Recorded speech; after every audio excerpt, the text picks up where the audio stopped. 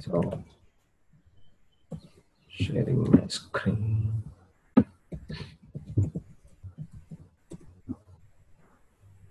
And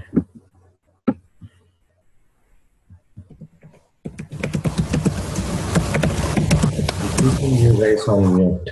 Okay. So getting some background noise.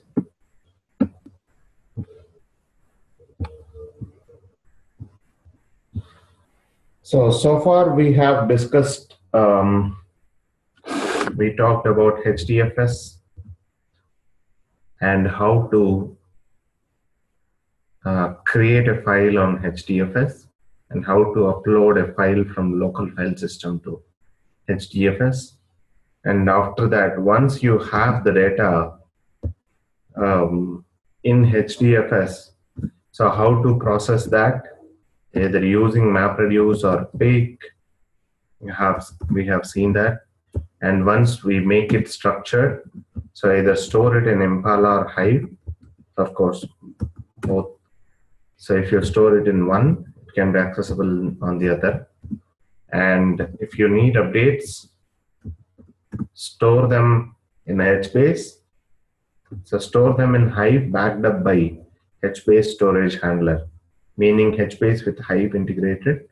So all these things, so at least we are now in a good shape to so to deal with the files that are present in HDFS and transform them and perform updates, perform transformations, uh, transactions, all those things. Now, so before you do all these operations, there should be some mechanisms to up, upload or push your data into your HDFS, right? And um, so far we didn't cover much. We didn't. Uh, we just saw like just uploading a file from local file system into your HDFS manually using that Hadoop fs-put command. So coming to the real-time problems, so when uh, if any enterprise, if, if it want to use Hadoop, so they might not be starting from scratch in the software, right? So they might have their all their data, existing data in RDBMSs. So mostly prior to Hadoop, they have all their data they might have the, the data in Oracle, MySQL, Postgres, okay, or Netezza, Teradata, okay. So all these different RDBMS servers, they might have had all their data. So now we should have a simple mechanism to transfer the data between your RDBMS2, your Hadoop. So using MapReduce, we have a DB input format and DB output format. Also from Pig, we have a DB storages. So RDBMS uh, direct storer and loaders, but even they they need a, a bit of extra efforts. Hmm. So that's why. So Hadoop community, the open source community came up with a tool called Sqoop. The Sqoop name itself is came from SQL plus Hadoop. The first two letters of your SQL and the last three letters of Hadoop. It became Sqoop. Okay.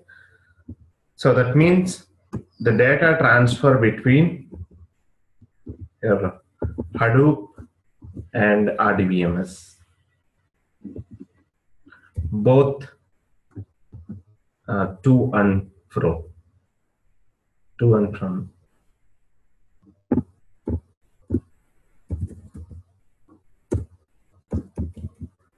So that is the one-liner uh, importance of your Sqoop your RDBMS2 Hadoop. Okay.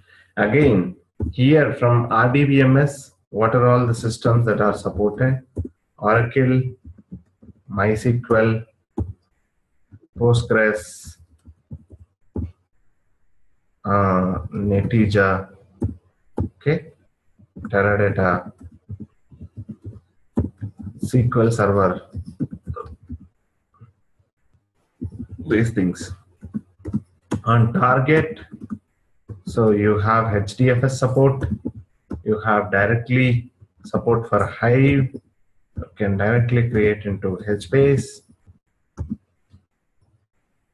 Okay, even Accumulo, the, there is one more, another NoSQL database similar to HBase, even that is supported to transfer the data into it. Okay, but let's not worry about this since we didn't cover that much. So from any of these sources on left side, we can transfer the data onto any of the destinations on the right side using this Sqoop tool. And this is very simple, open source and command line based tool.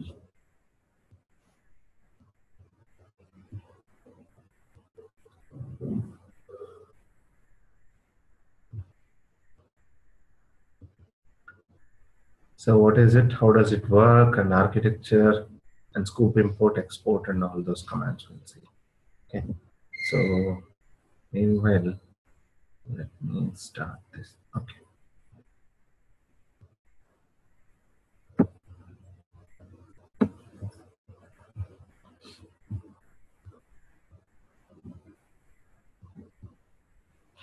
Think I should have. So by default, your Cloudera Quick Start VMs come with Sqoop also installed on your machines.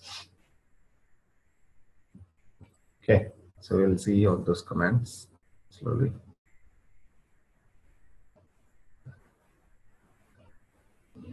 So what is Sqoop?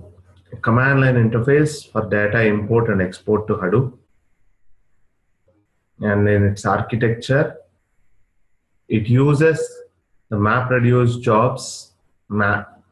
I mean, inside that MapReduce jobs, again, it is just a map only job. Okay, it doesn't run reducers, only maps, map tasks it runs. And supports incremental loads. We'll discuss uh, separately about this. And Sqoop is written in Java, licensed by Apache, no public license, and uses plugins for new types of data sources. Meaning, there are any other um, RDBMSs that are not supported. If there is any uh, JDBC loaders, drivers for that. So once you can load those JDBC drivers into the Sqoop lib folder, so it can support that new data sources as well. And how does Sqoop works? So given your data, let's say if you have 1 million record table in Oracle, so that get sliced, sliced into different partitions. And for each partition, so it runs one separate map task and that map task is responsible for transferring the data. Mappers transfer the data and you don't need to deal with the data types also. So Sqoop can handle efficiently the source data types and uh, properly onto your target HDFS. And on your target, you can import into Hive, HBase, and HCatalog. I mean, both are same. If you load it into Hive, so you'll get into HCatalog, but we'll skip this also. And again, if you are getting that into just into HDFS, in HDFS, you can store it in CSV format or sequence files or Parquet files. Um, so some of these file formats are supported by Sqoop. In the early days, almost like one year, uh, two years back, we didn't have the optimized file formats being supported by Sqoop. Okay, so these days, even these Parquet, uh, these sequence files, all those things are being supported by Sqoop.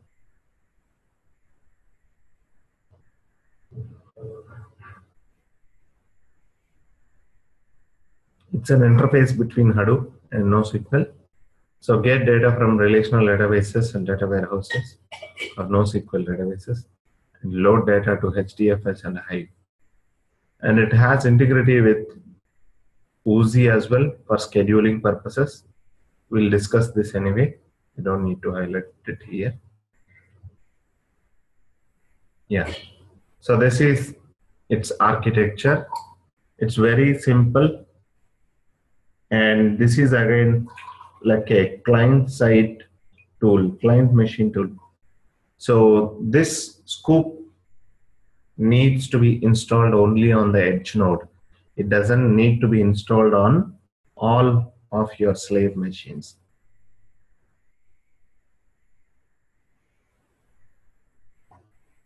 Let's say if you have a Sqoop installed on your edge node, there is an import command to copy a table from your RDBMS.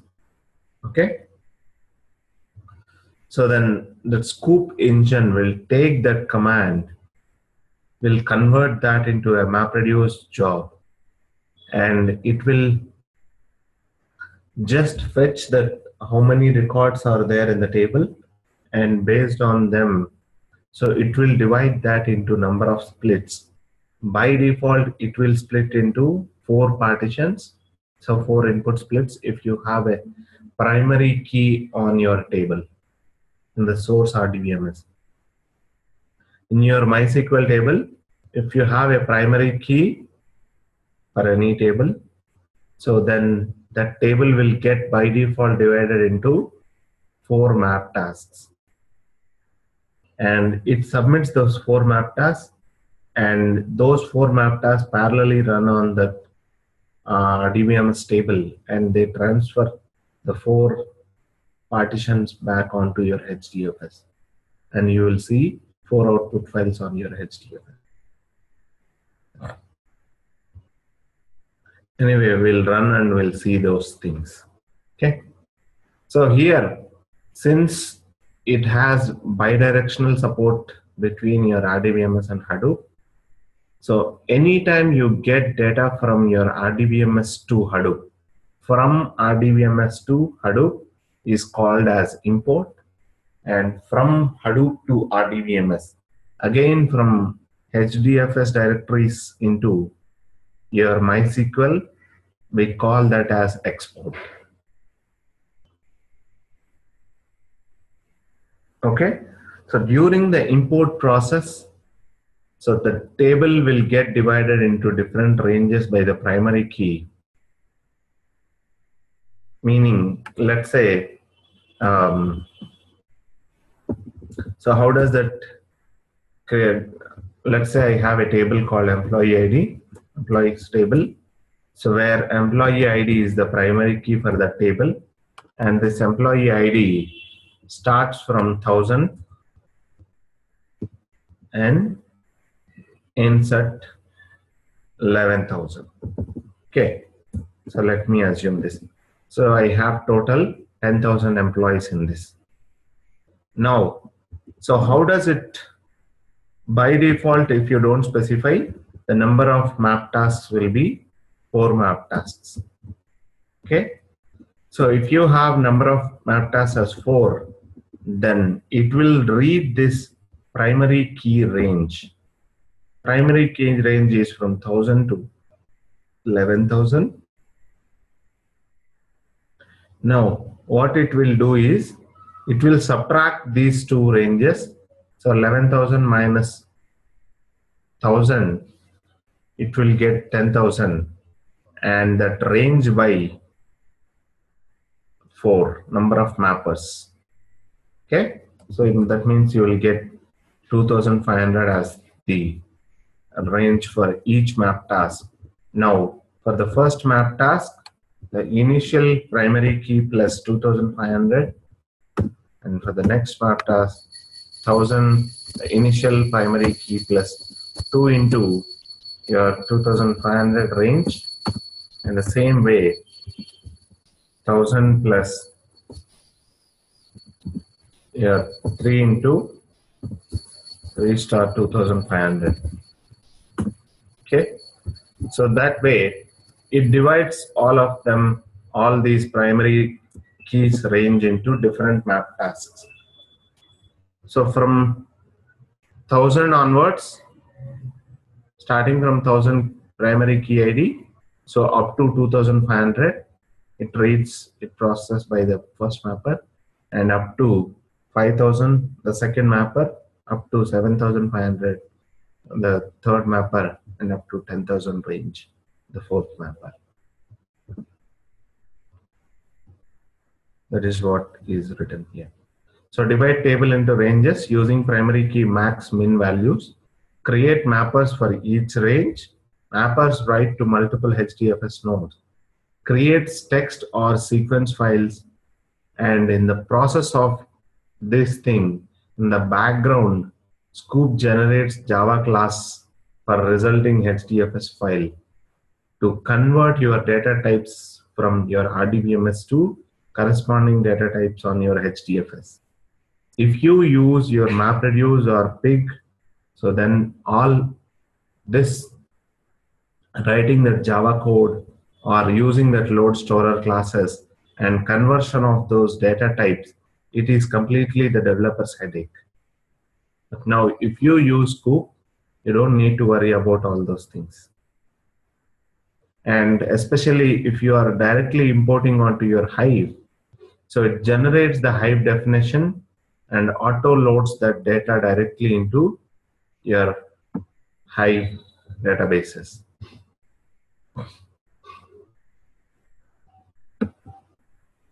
okay and Sqoop export on the other hand so when you have data on your hdfs directory so all those files in hdfs directory they can get inserted back to an rdbms table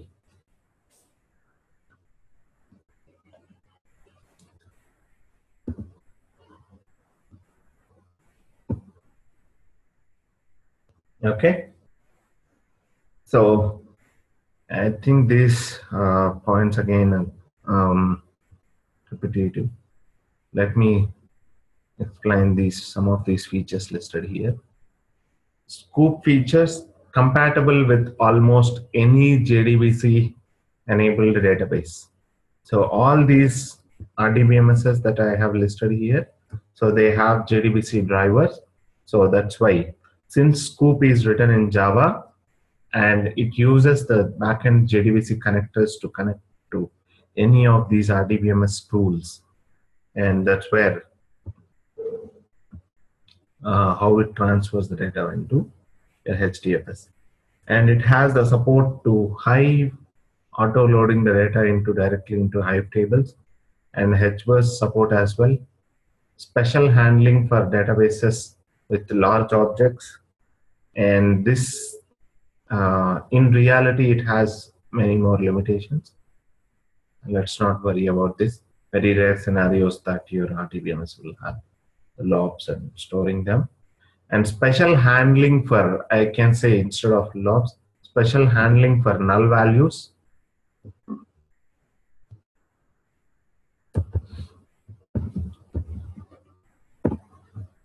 Okay.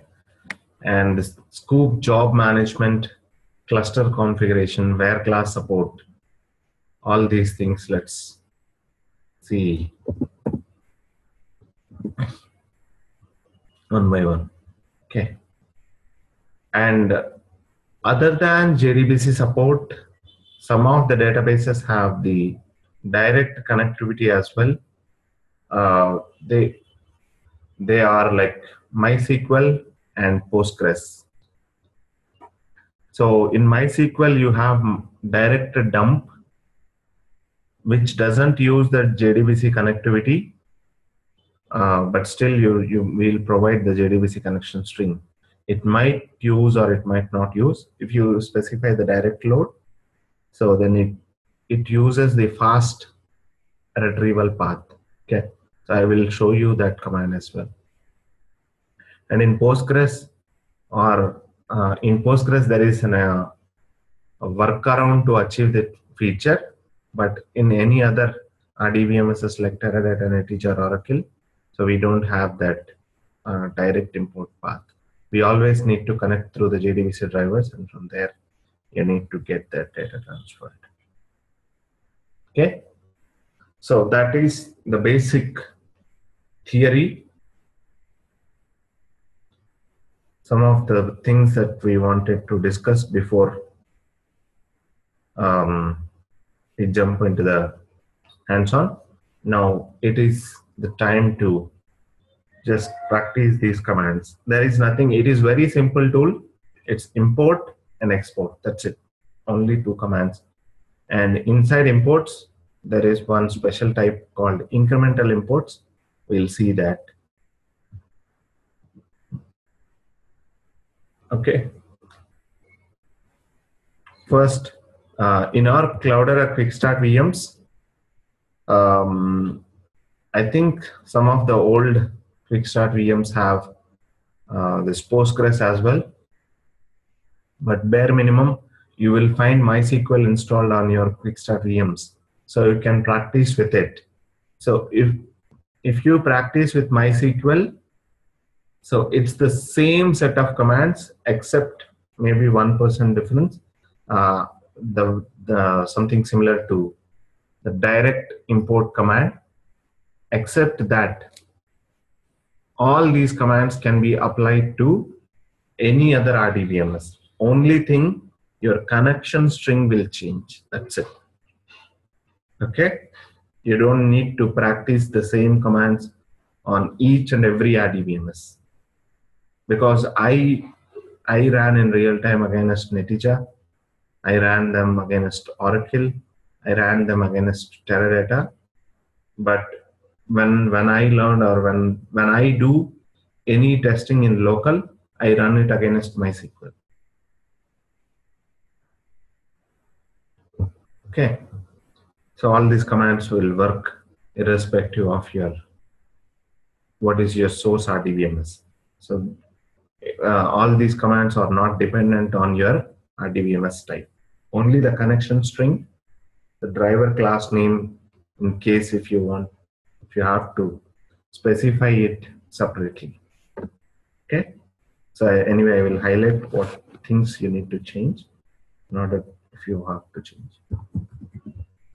First, let's test our MySQL connections.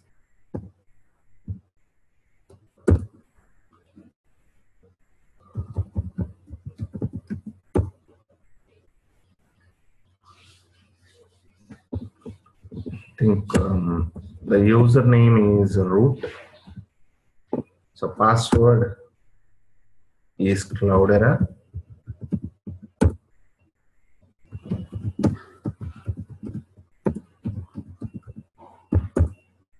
Show databases. Mm, retail underscore DB.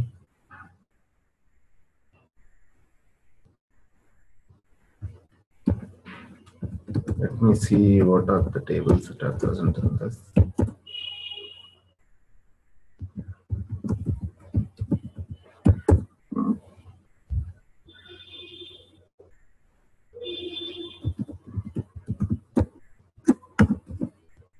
Okay.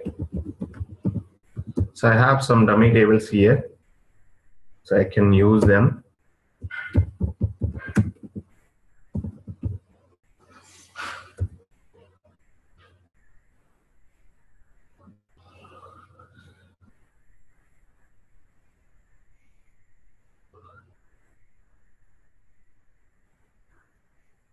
Hmm. So I think these are the default database that came from your Quickstart VM itself. Some test database. Okay. So you can let's use that.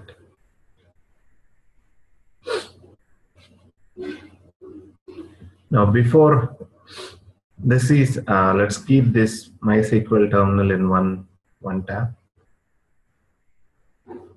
and another tab in this.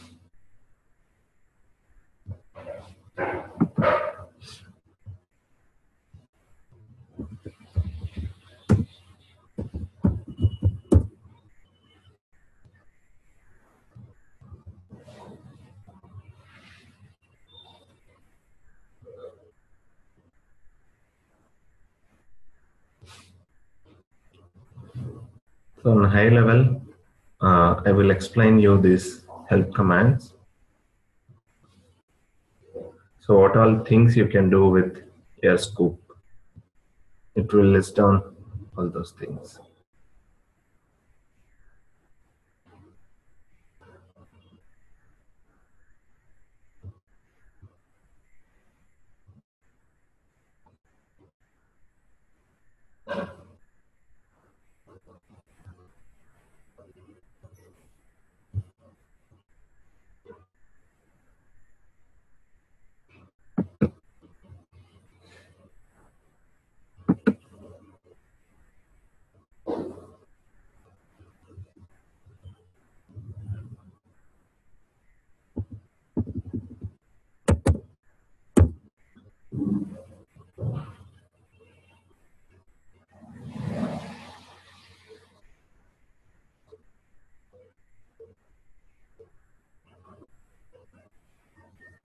Yeah. So you can see so many commands here. So something like sqoop version, display the version of Sqoop. So you can play with this stuff.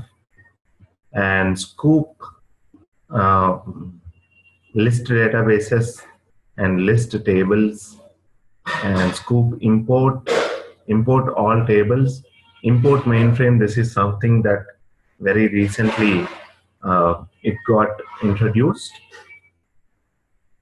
Uh, in order to play with this, uh, you need IBM DB2 uh, drivers. Even, yeah, so I forgot to say this, not just these RDBMSs, uh, these the listed ones. Even the DB2 is also supported. Okay, so DB2 was uh, being supported from last couple of years back itself. Okay. So IBM DB2 drivers, you need that separately for that. And especially mainly you need to try with this is import and export these two and sometimes the Sqoop job. That's it. That is enough. Okay. Now we'll see, uh, for simplicity, we'll see this list databases and list tables at least before uh, querying your, before importing data from your MySQL to your HDFS. If you want to run any queries, of course, you can run them on your RDBMS directly to see the list of databases and tables, the way I have uh, done now. So first I did show databases and verified all the databases. And inside a particular database, I verified what are all the tables that are present and uh, what type of data this this so and so table is having. So instead of logging into that MySQL database, if that database is somewhere remote, even if remote if you have the jdbc connection string of course you can do that. But the same functionality you can achieve this through by list databases and list tables and eval. So running these three commands in a sequence i could have achieved the same i could have verified this thing same from the Sqoop uh, tool itself. Okay so let me run that for you. sqoop list hyphen databases hyphen hyphen connect JDBC colon MySQL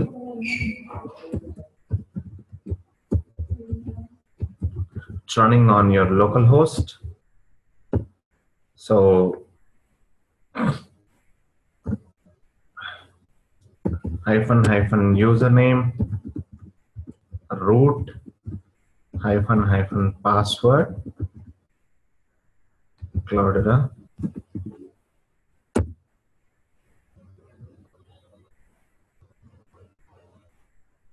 See, you could have seen these databases in the same fashion.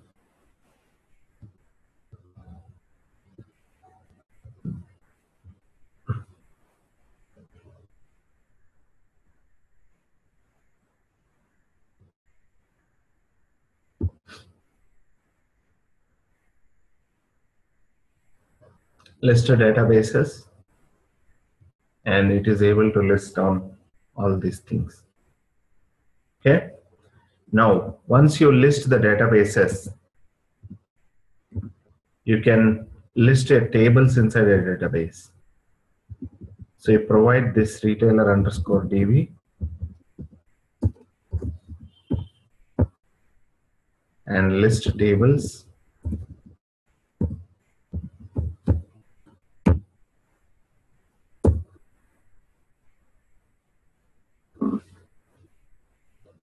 So MySQL syntax error exception unknown database retailer underscore DB.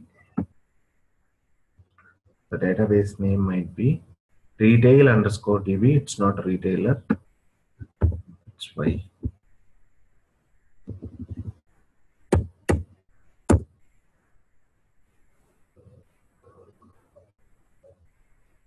So you, you could have seen the same tables from here and so instead of list tables now you have seen you got the list of tables. Eval sqoop eval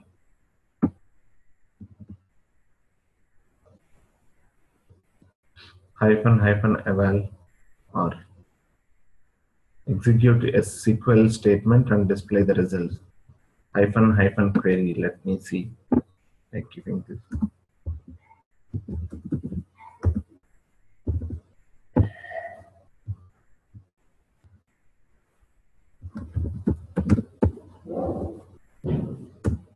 select star from products. Limit to this is what I ran there right?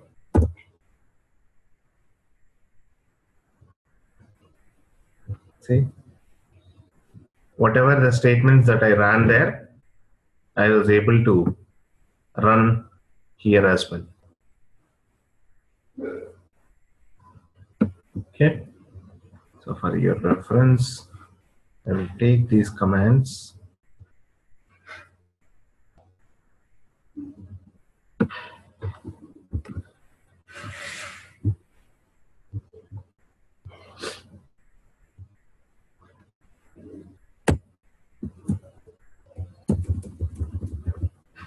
I don't need these results.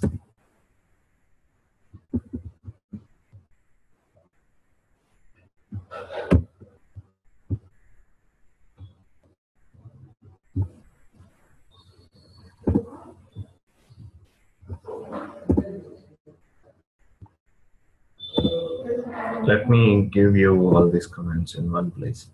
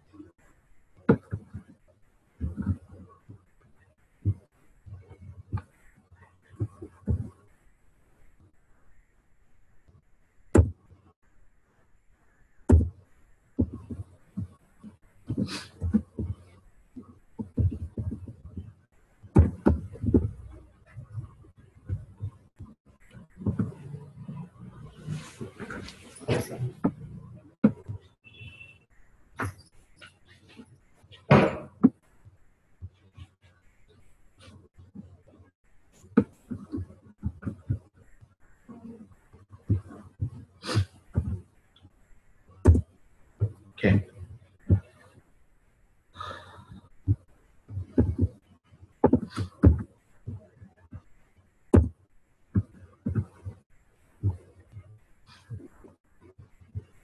So there are uh, each slide, separate slide for each commands. But you don't need this much of. Okay.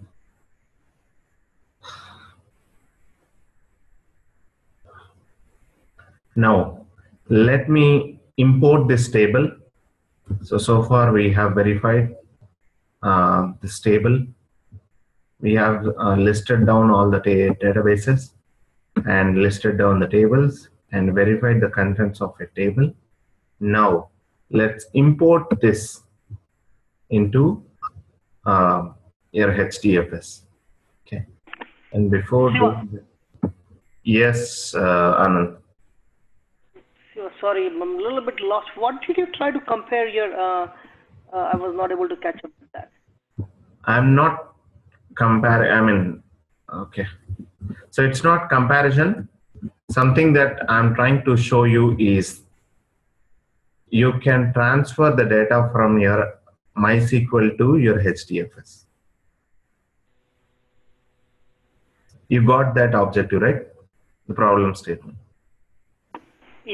Correct. Okay. Correct. Next, before you transfer the data, first you will verify what are the databases that are present in your MySQL.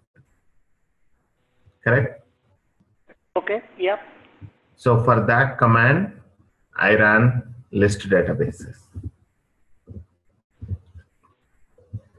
To, Right. to see what are the databases that are available. So I got the list of databases and I picked up one database and out of them. And then out of that database, what are the tables that are present in this database? I ran this command.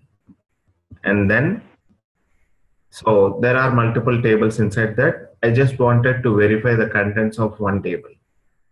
I used eval command to see Okay. few records of it before transferring. And now, if I like this contents, if I want to move this contents to a HDFS, we'll see the import command. Okay. Okay. So you just verified what table and you identified What the. databases are there, what tables are there, and inside a table, what are the contents. So all these things can be done from your MySQL shell also. And if you don't have direct access to your MySQL shell, if you have access only to Sqoop tool, so what I am trying to say is, yes, all these things can be verified from your Sqoop tool as well. And Sqoop eval, this is something like your MySQL shell only. It is not just for MySQL. Whatever the connection string that you hear, you specify there.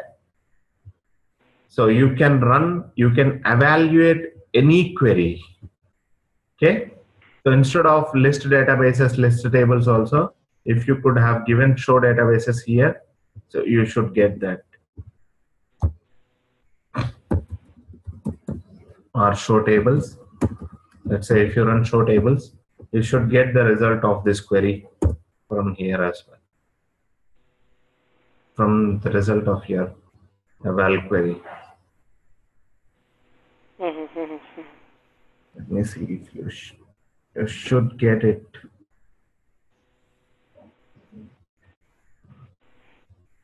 And the other one, the sqoop, the sqoop, uh, the command, uh, that is a separate interface.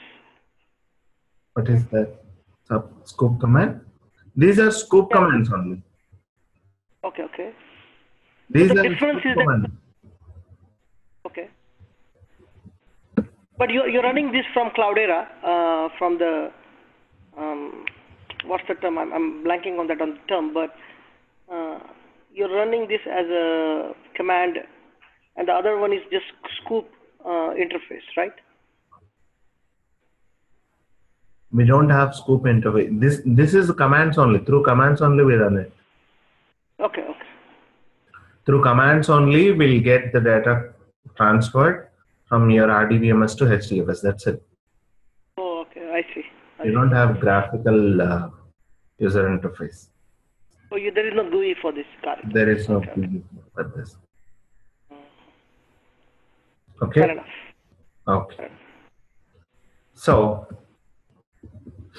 so what I was trying to show is under sqoop help, you will find a lot of other options, but these are like very less importance, less list tables, list databases, evolve. So anyway, these can be done from your directly from your MySQL shell also. There is no mandatory uh, stuff that you need to use it from sqoop itself. So what I'm trying to highlight is, yes, you can do them from here as well, from Sqoop as well. Now let's focus on the import and export. So these are the two important commands that you need to highlight or that you need to concentrate on. Okay. So for Sqoop import, it's the same process. It's just that sqoop import hyphen hyphen connect. So retail DB username password. You have specified hyphen hyphen table products table hyphen hyphen target dir slash user slash cloudera and slash let's say slash sqoop slash products. Okay? So let me give this table this directory if this directory is not there it will get created if it is there it will throw an exception that uh, target directory already exists because in the background it runs a MapReduce job and tries to create that the new directory Okay. So in the import, what are the new parameters that I gave? Bare minimum, the table name and the target directory. So what is the table that you need to import and to where on your HDFS this needs to get imported. Okay. And let's see these two parameters first and then we'll explore. There are some many, many more uh, arguments that you can pass into your import command. So we'll see all those things slowly.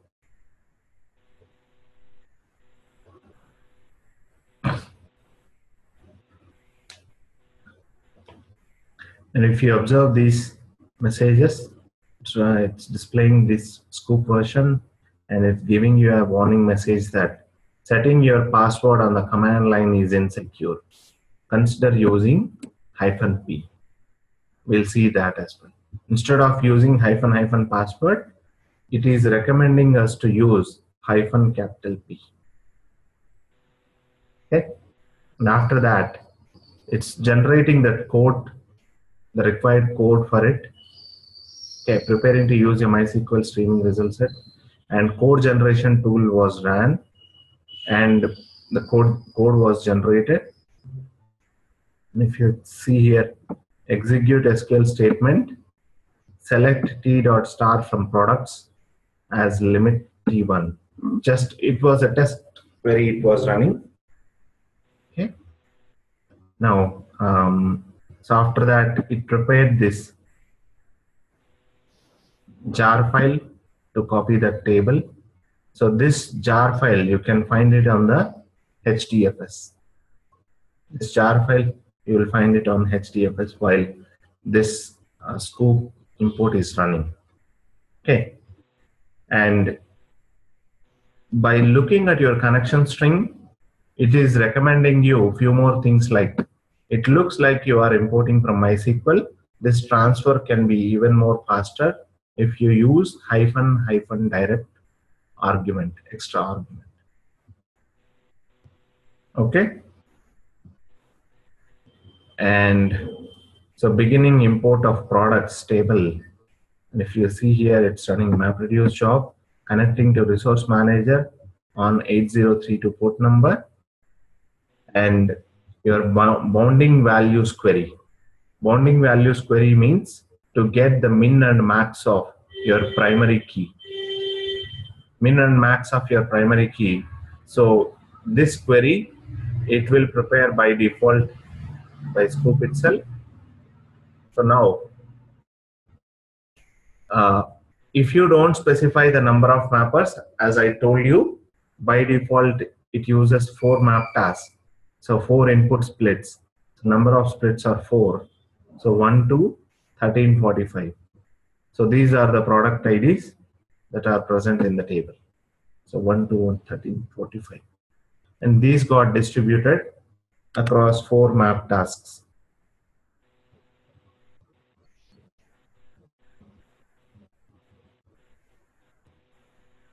Let's wait for this map uh, MapReduce job to finish this. Okay, so once it finishes, next time let's try using the hyphen hyphen direct. Okay, but this hyphen hyphen direct is available only for MySQL without any extra efforts, but with some extra uh, efforts by administrators, they can set it up this for your Postgres as well. But for other RDBMSs, you don't have this hyphen hyphen direct argument available. They have to copy the data through the JDBC connection string only.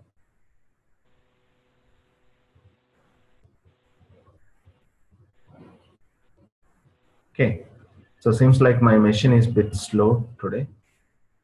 That's why it's taking this much of time. Otherwise, would not have take this much time.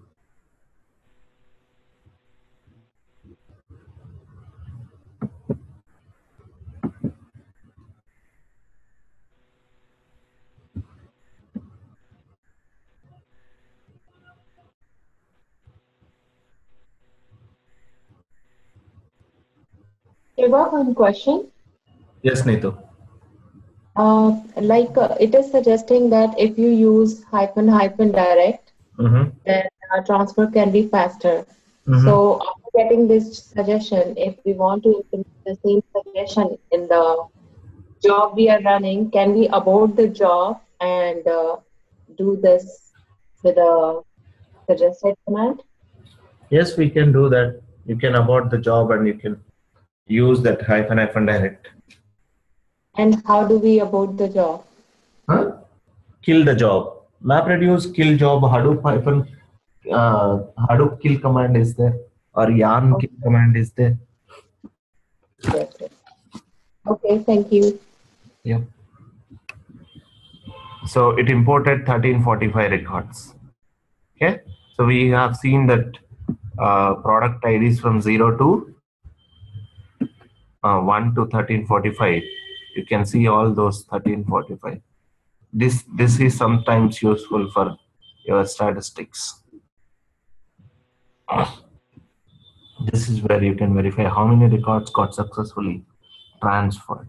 Now, let's see that file on HDFS, Hadoop FS minus ls slash user slash Cloudera slash sqoop slash products.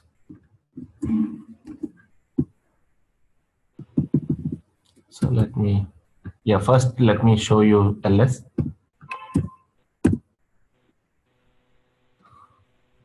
So since it ran four map tasks, it creates four uh, output files there in the target directory.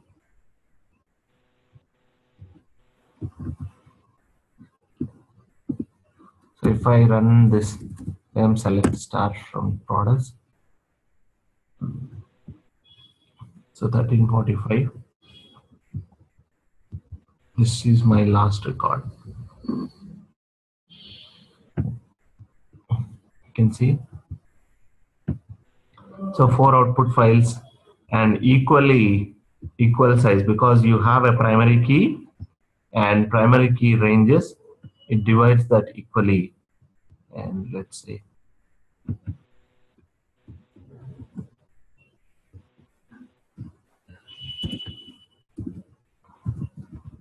So Hadoop FS hyphen ls.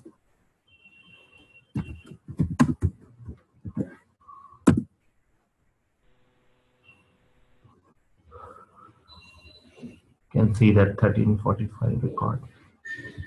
So by default, you got your comma separated file, right? You got your CSV file got created for that data that is present in your MySQL. The delimiter between your fields. Right? 1345, comma 59, comma Nike Men's Home, Game, Jersey Street, all these things, comma, comma. Okay, so now in the early days of our sqoop, where we didn't have the direct support for Hive, so this comma separated file, we used to take this and we create this table in Hive. We create a table in Hive and specify all the column names and column data types. And then we use this load data in path, this file, and then we used to copy that into Hive table. Right? If you know the, if you have a CSV file, you know how to create a table for this in, in Hive. I don't need to explain that. Yes, Shiva, one doubt. Yes. Is this clear? Yeah, yeah. Yes. Like here we are not using reducers, right? No need of reducer. Only map. Yes. So here it is running four maps. Yes. Okay, that's the reason why it's creating part M files. Yes. Part Not F. R. If it is only map map task, then it creates part F files. If if it runs uh, reducer also, then you you can see part R files. If there are some small tables and if you want to merge it and run, is it not possible?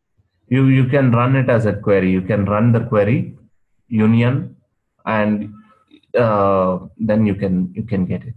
Yeah. When we run union, is, isn't it required to uh, uh, run reducer? It runs only on map even in that case? Yes, it's just combining your results, right?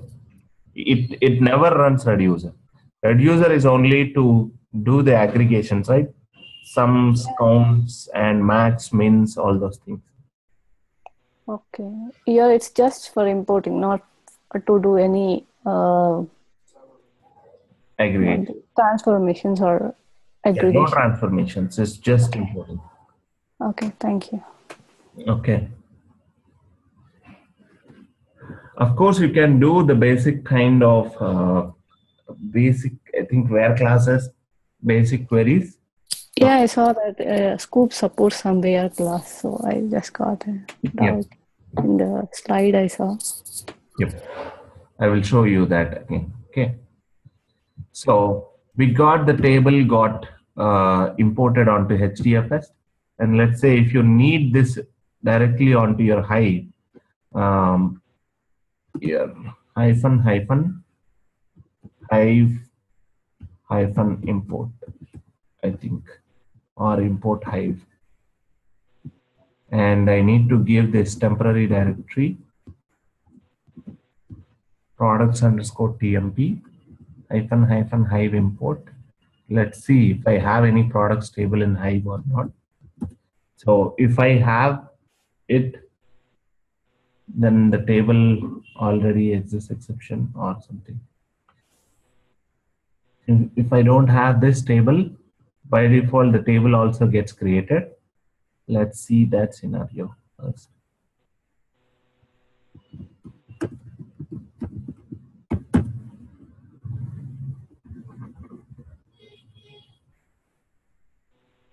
So we don't have the products table there.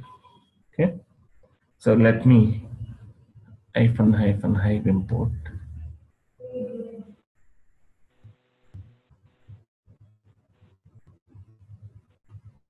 Using hive specific delimiters for output, you can override delimiters with fields terminated by. Shiva, don't you need to have a table before importing in the Hive? No need. We don't have table here, right? We don't have the products table here. So whatever the table, your source table name on your MySQL with the same table name, you will get a table created on your Hive. since you have a my products table here, so with the same name, you will get the table created in your uh, Hive. Let's see that. Okay.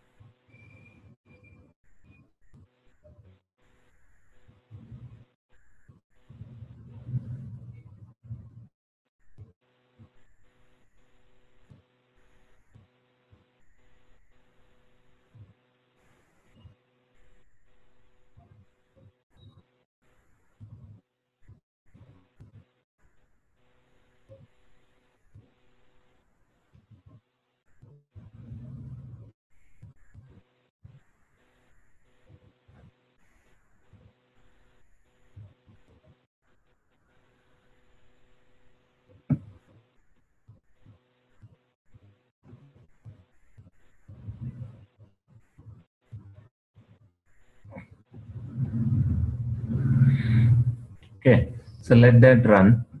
Uh, meanwhile, we'll discuss a few other topics. Issue a question for you. Mhm. On the Hive, this will go under the default database, right? Yes. Okay, thanks. Okay. So yeah, I, I know I can guess your questions. We'll discuss all this through the uh, arguments. Okay. Different different arguments we'll see here, and we'll run some of them there. So it's very simple tool. I, I in my opinion, if I Yeah, yeah. you hear itself also, you'll be able to learn. Okay. Yeah. But let me cover some of the important arguments. Um, okay. So here you can see the import hyphen hyphen connect username password table and hyphen m hyphen m followed by a number. This is what it decides the number of how many mappers or how many um, yeah how many mappers it should run. Okay, since there are no reducers, we specify.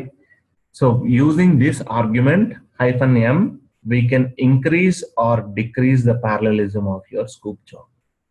Let's say if you have 1 billion record table or 10 millions record table, obviously four mappers will not be sufficient. Just running the four map tasks. If you run only four map tasks, it, it takes very long time. So whereas if you can increase this count, then it can run 50 map tasks or 100 map tasks. So by default, your administrators will put an upper limit for this on your cluster. Otherwise, it can be any number. Okay. So by default in our real-time cluster, so we have a limit of 50. Okay. So you can use up to a hyphen M50 or a hyphen M100. So if there is no limit. So those many parallel map tasks will get triggered at the same time and they all will start fetching the data from your RDBMS MySQL table, employees table onto your target directory. Okay, so that is the import command. Now, um, sqoop hyphen hyphen table, uh, import all rows but column specific. Uh, I, I think I have skipped that connection string here. So you need to specify sqoop import hyphen hyphen connect username password and then followed by the table table name hyphen hyphen columns. If you want to specify, if you want to retrieve only a set of columns, you don't need all the columns from your source table. You can specify this hyphen hyphen columns as well. And if you don't want all the records, if you need only records based on a particular criteria, you can use this hyphen hyphen where. Okay. And when you are creating a file on your HDFS, instead of storing uh, by default, it stores as a text file, hyphen hyphen as text file, and comma separated CSV, comma separated text file. does it still uses four mappers? Even if you have one record, uh, it uses four mappers only. If you have a primary key on the table on RDBMS. The remaining three mappers will create an empty files and the first mapper will create that one record copy. Okay. So is, is my voice still breaking, Narendra? Sorry, I didn't check that. Is there any RDBMS in industry that is specific to Hadoop most used? Uh, I, I didn't get the context of your question, Narendra.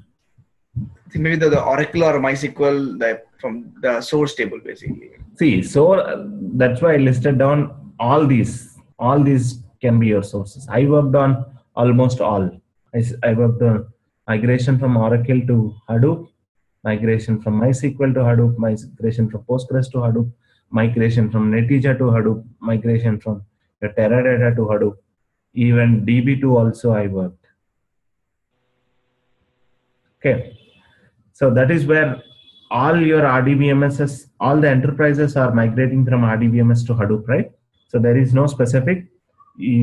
Once you can run your, the commands are common. Okay. Only thing is here you have uh, connect MySQL. So here JDBC colon MySQL is there. Okay. In place of MySQL, if it is Oracle, JDBC colon Oracle colon thin thin for thin drivers or you can use the direct drivers also. But the lightweight drivers we use for oracle the thin drivers. Jdbc colon oracle colon thin drivers. Thin and followed by the host name on which your oracle is running. And optionally you can provide the port number if it is other than the default port number. And you will provide your username and password and any other optional parameters to your oracle Shiva, can you clear screen? Can you please? Uh, clear the screen. Uh, the last row is, row is not visible. Oh, okay. Yeah. Uh, last line is not visible. Okay. Uh, Shiva, one question. Um, yes, Satish. So, like uh, for a table, if it doesn't have a primary key, so based on what values it will split the records into different. I mean, Very good question. Good question. So it will not split.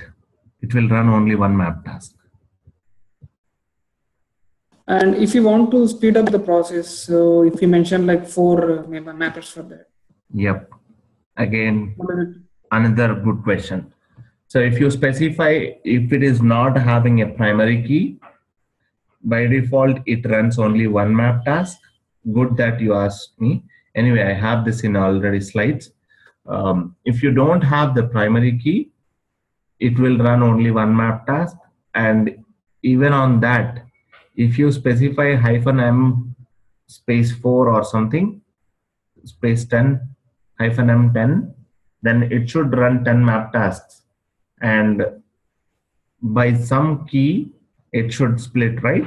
Even that parameter we only have to specify. Okay. Anyway, I will show you that in in one of our slides. It, it will definitely come. Okay. So please wait until that. What is that option is?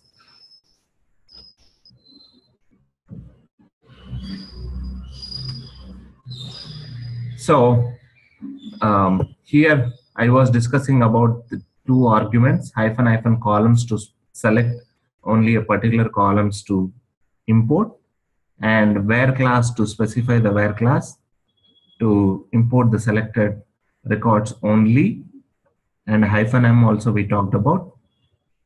Now uh, even those these two options in my opinion uh, are like deprecated. We no longer need them because we have a free form query support. Like import hyphen hyphen connect username password and hyphen hyphen query. Select hyphen hyphen query. You can write any query inside this. Then you don't need those columns and hyphen where hyphen hyphen where all those conditions. Any query that you can write inside your this hyphen hyphen query statement. Hyphen hyphen query, select uh, whatever the columns you need from table and provide your where class on whatever the condition.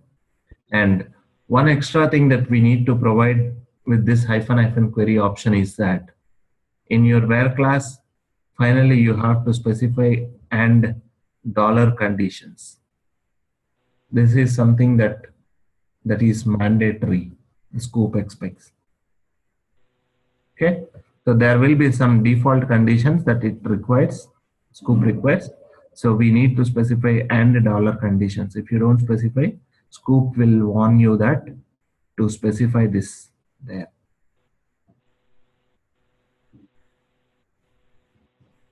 Hyphen M minus one target directory. And you have one more option called hyphen hyphen delete target directory.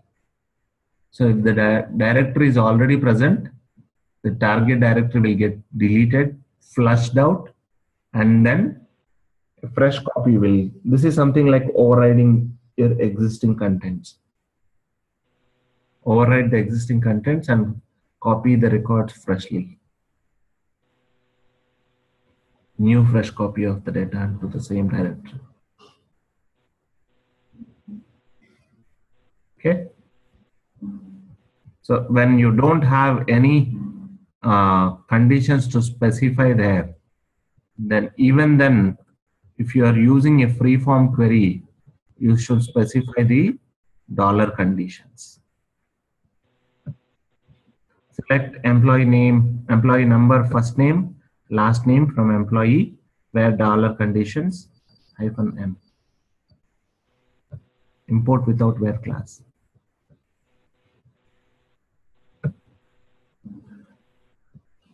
Now, um, so once you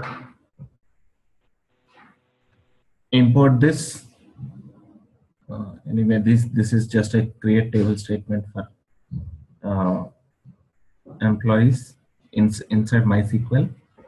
Okay.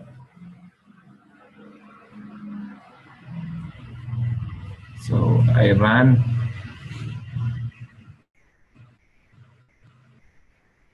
this Hive import here. Let's see that later. So import employees into HDFS to demonstrate the export. Yeah. So to uh, to test with your export, here the mandatory condition is that the table needs to be present in your MySQL. That's why I gave this create statement there.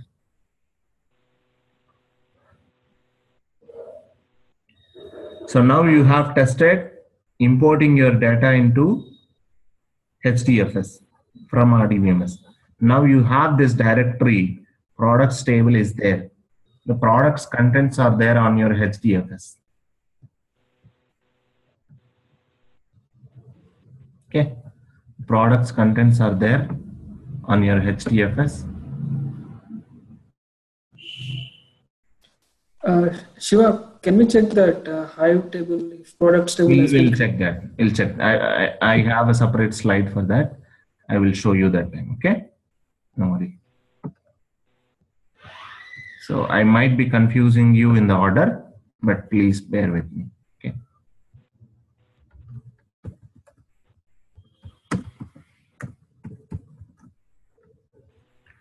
Um, slash user slash warehouse. No, I don't want to see this.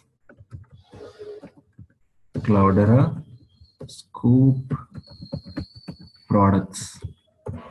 This is where I have this, all those four files. I will export this into MySQL.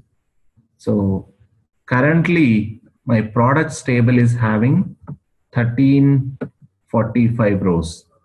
And again, if I copy these records back to there, since I have a primary key, if, if there are any updates, the updates will get to happen.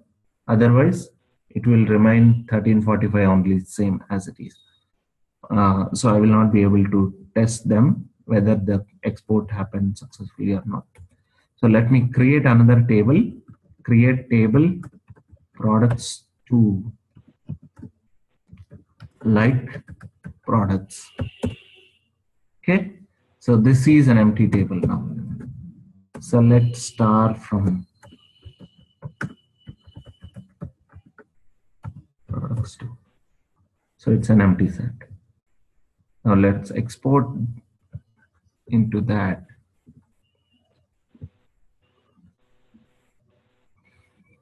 So for exporting, instead of import, we use export hyphen hyphen connect, username, password, tables, hyphen hyphen table is uh, export products to export directory. Export directory, this is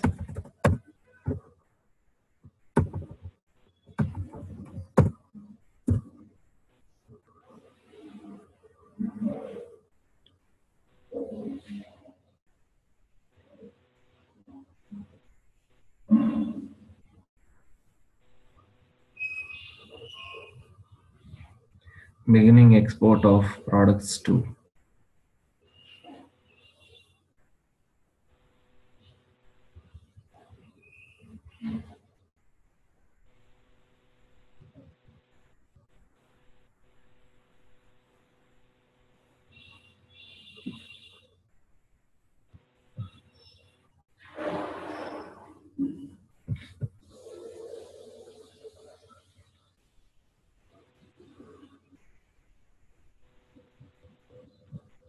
Okay.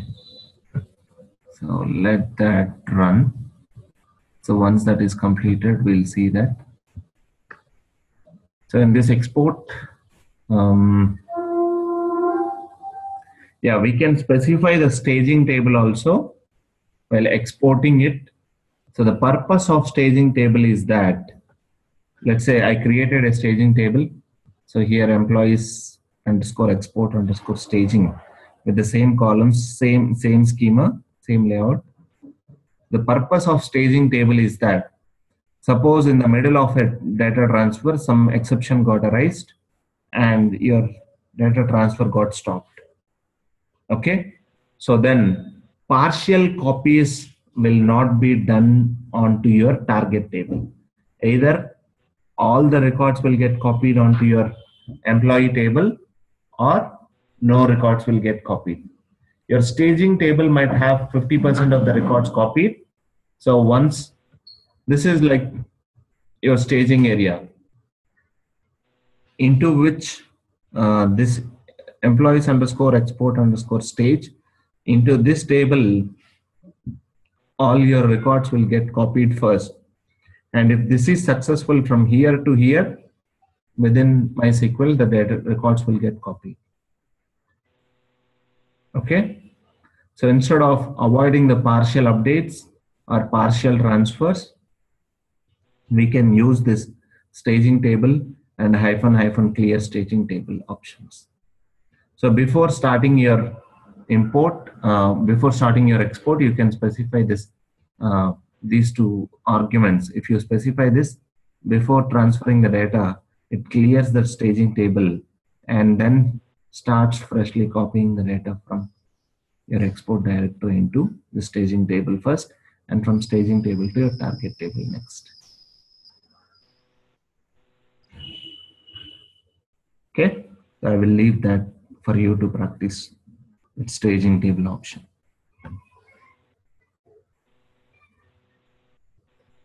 Okay.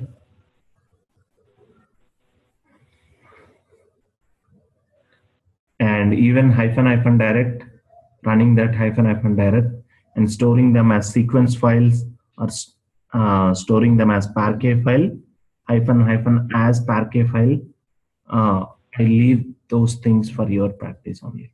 Okay. So i, I won't be showing all these i will directly run into importing the data into hive. So that one anyway we ran, we will verify that as per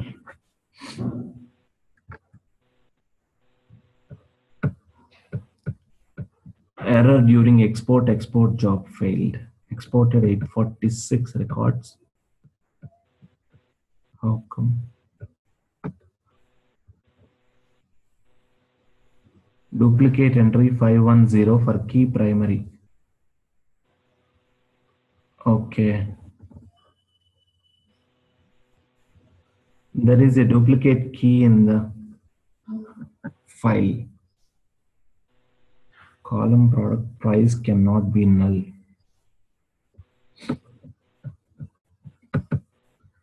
Can't export the data. Please check failed map task logs. Only 846 records got transferred out of 1345 after that there was an exception. So it received a duplicate key and duplicate entry 510 for primary key primary. And this is for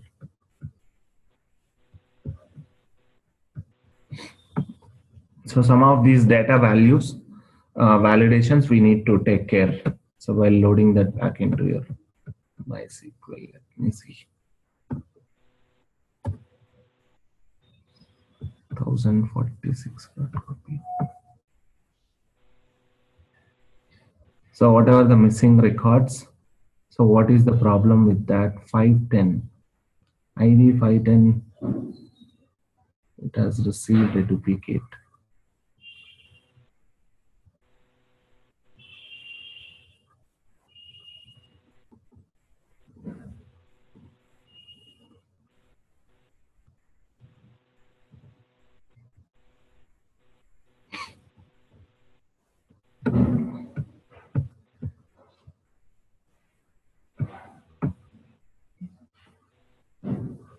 So one map task got failed, I think, after copying some of these records. Okay. Um, so might be uh, because of this.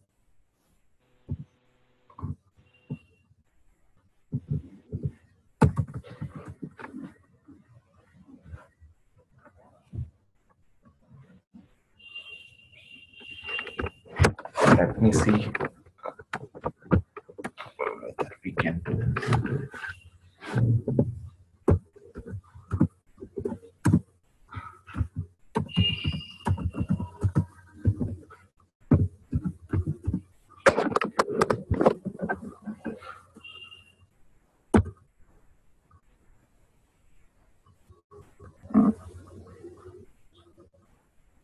You can see only one in this.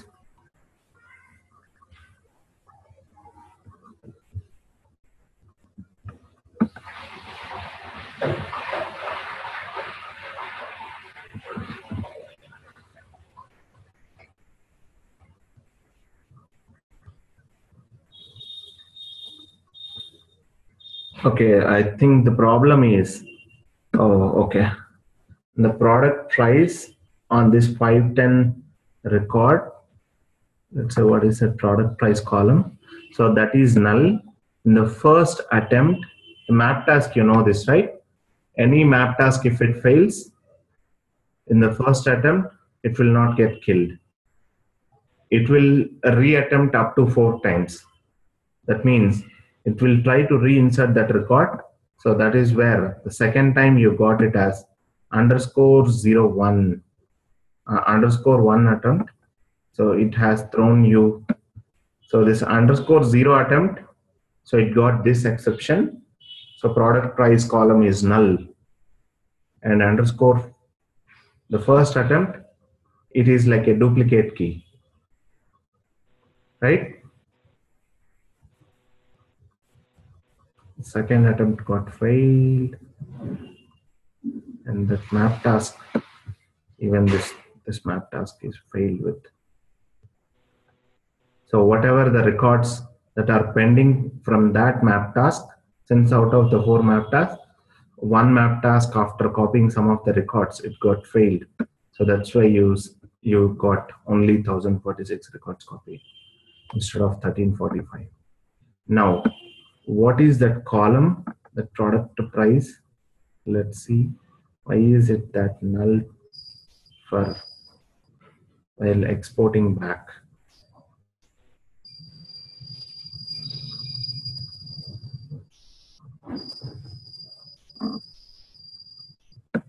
So product price is says like after product name. Let's see. Why is it null? Seems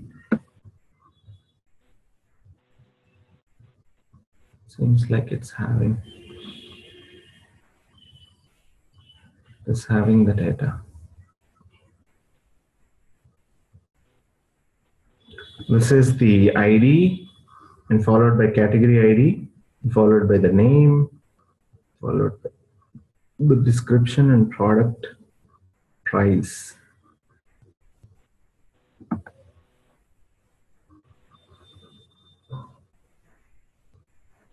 So 510, right? Row ID 510.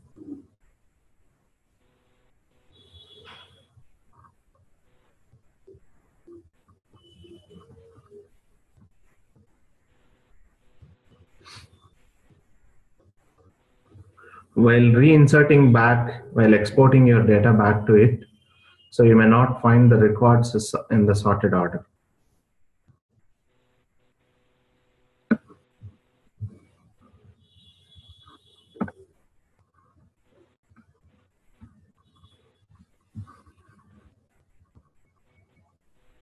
Got exported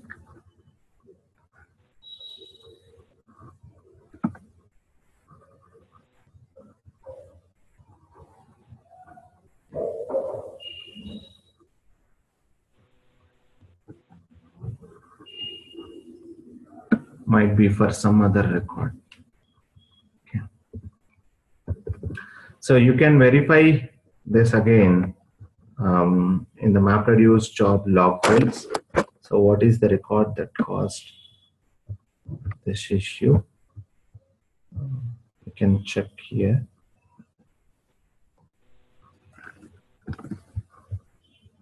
Can further drill down. and if there is any bad record so we have to remove such records because your mysql that is what the difference between your rdbms and the hive right? So rdbms is a schema on write.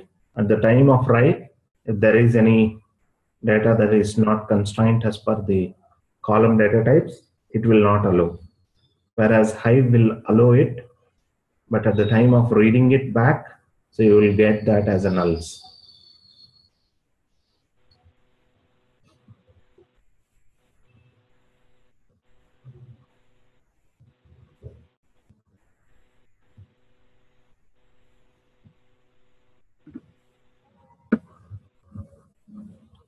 Four maps got failed.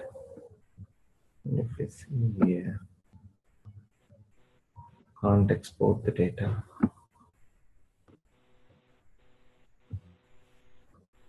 One minute, 60 seconds, cannot export the data, six seconds.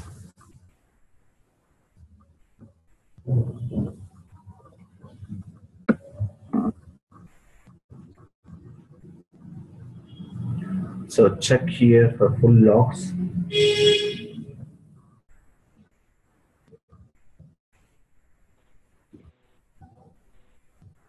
asynchronous SQL output format got exception and update thread.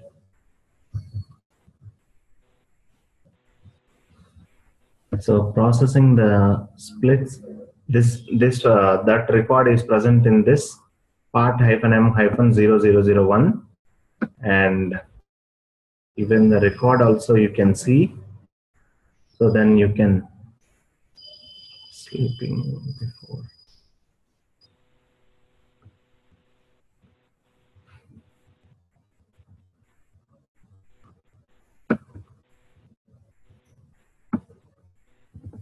Uh, Shiva, Mhm.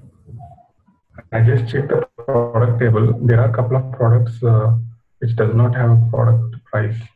Okay. Oh, okay. Yeah, that those are the uh, those are the things that are causing culprits. Okay. So on the input 809, uh, it is saying that at position part 00 currently processing the split. Uh, if you see here, yeah. So those records, whichever is having, so somehow you might have created in uh, MySQL, but when you are trying to export, so that is the right constraint that is causing this exception. Okay. Yeah. Thanks, uh, Ramesh. I mean, you verified from source MySQL table itself. Okay, so if you have your data as per the data types that you have specified in your MySQL, all your records will get copied successfully. Okay, otherwise, so either, Mean, since you have the same table available in MySQL, you are able to check that in the uh, MySQL directly. Otherwise, thing is you should um, debug your log messages this way. So this is common for any MapReduce job or any Hive or any Sqoop or DistCp anything. If anything goes wrong, so find out which map task got failed and open that in the resource manager and open the full logs. You can see here the simple record. So 809 followed by this so and so. And after this, what are the records that were processed? and the current record, previous record. If you can check all the complete logs, you can you can find out. Okay, somewhere you will be able to uh, capture it. So that way we have seen an example for export also. Now, so we ran an import directly into Hive as well so this command, hive import, and we saw that uh, that got went that went successfully. So this is the command that. So even in this 1345 records, this is the command where I ran that hive, right? Hive import. So it imported all 1345 records onto HDFS first from once it got those records onto HDFS.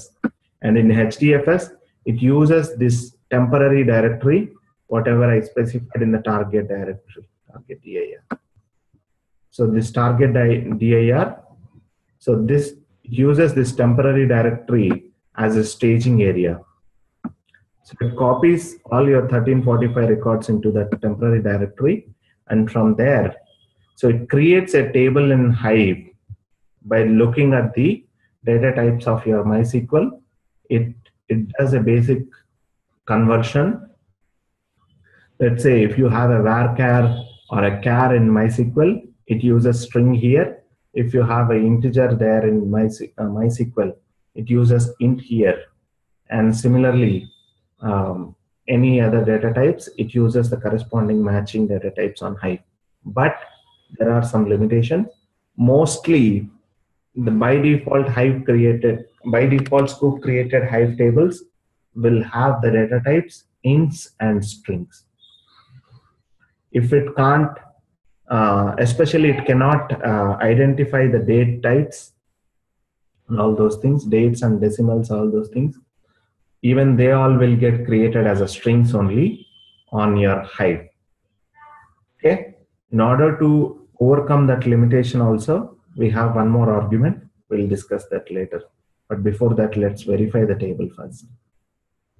So it creates a table on Hive and loading the uploaded data into Hive. So whatever the uploaded data into temp directory, that data is being loaded into the direct database here. So as you asked your question, mm, it, it, it creates the table in default database in Hive yes, you can specify the database also in the arguments into which database you should create this table as well. We'll see those arguments as well. Okay. Siva. Yeah. Yes, Anand. Siva, man, this is very interesting. Um, so. It's very confusing. No, no, no. I'm, I'm not seeing any difference. This exactly feels like I'm going through the same session as Hive and Impala there is not much difference. You have same map reduce technology of everything. So what is the difference here? I'm a little bit lost. What are we? What is this tool? I mean, you know, what exactly is this diff- doing different? Um, I'm not see my question? uh, highlighting any differences here, Anand. First thing, I'm trying to show you the usage of Sqoop. No, no, I, I get it. That, that I totally get it. But what exactly is the advantage? What is what is different this sqoop? What is so different How about do you sqoop? copy your RDBMS data into your uh, Hive? But that we can do through the same tools we looked at it, right? Same same usage, right? How do Uh, you open a? JDBC, open a JDBC connection and try to get it load into the files, right? So try to load them into files and then create a table and then load the data, right? Uh, the only difference is that we are not creating files here. We are just uh, directly loading from RDBMS. First, Is that right? see if you know the JDBC connection, you will make Correct. you have to write a JDBC client and get create the files and then create the table and then the load the files into table. So this is the simplest approach, simplest tool with one command. You can directly copy your add MySQL table into Hive table. You're not seeing any difference. You're not seeing any advantage here. Mm-hmm. with one simple command i mean since um, you are you know that process you are aware of that. You can write java clients and you can get the data. You can create the tables all those things. Correct. so this is more developer friendly and simple tool to use. Just with one single import command you are able to copy that entire mysql table into your hive. Mm. not your advantage I see. I see. Yeah, you don't have to write all those what we did for. Oh, I see. Yes, you don't have to write that such big Java clients. Correct. Oh, yeah, I forgot about that. You know that you have to write those Java. And even if you use Java client, Java client to an RDBMS, how do you get the parallel processing? Java client is one single thread for your RDBMS. Okay. Right? So this definitely saves a ton of work. Yep. So it, it saves your development work. Development effort. Also, its execution efforts also got reduced because if you write a simple Java client for your RDBMS on a 10 million records table, there will be one thread that will be receiving records one after the other in sequence in sequential fashion.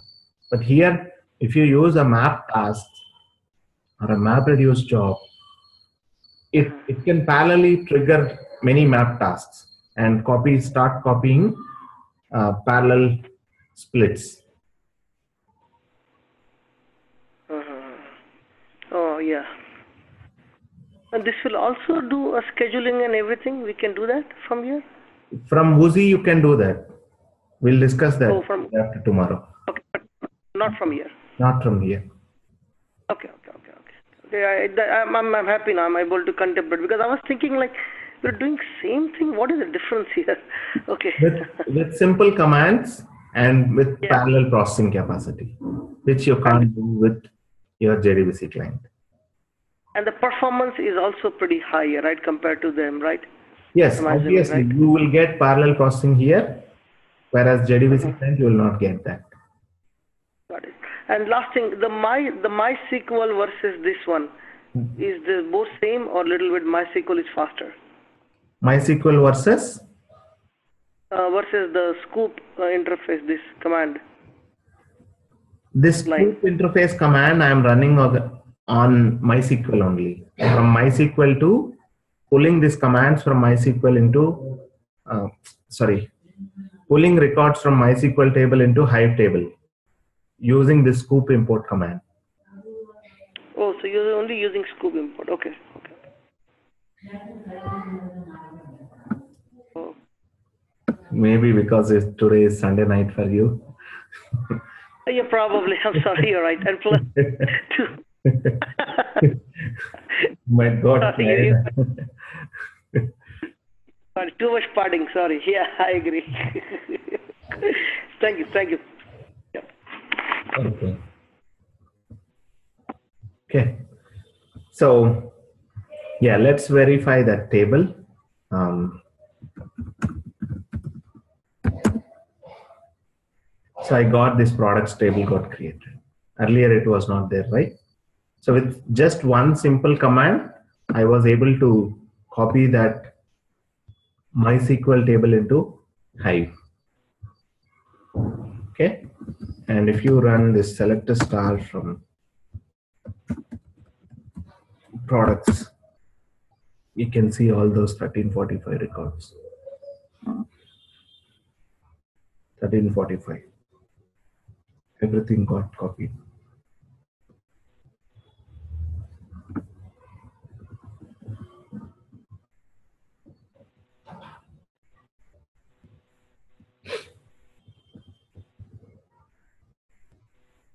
Okay.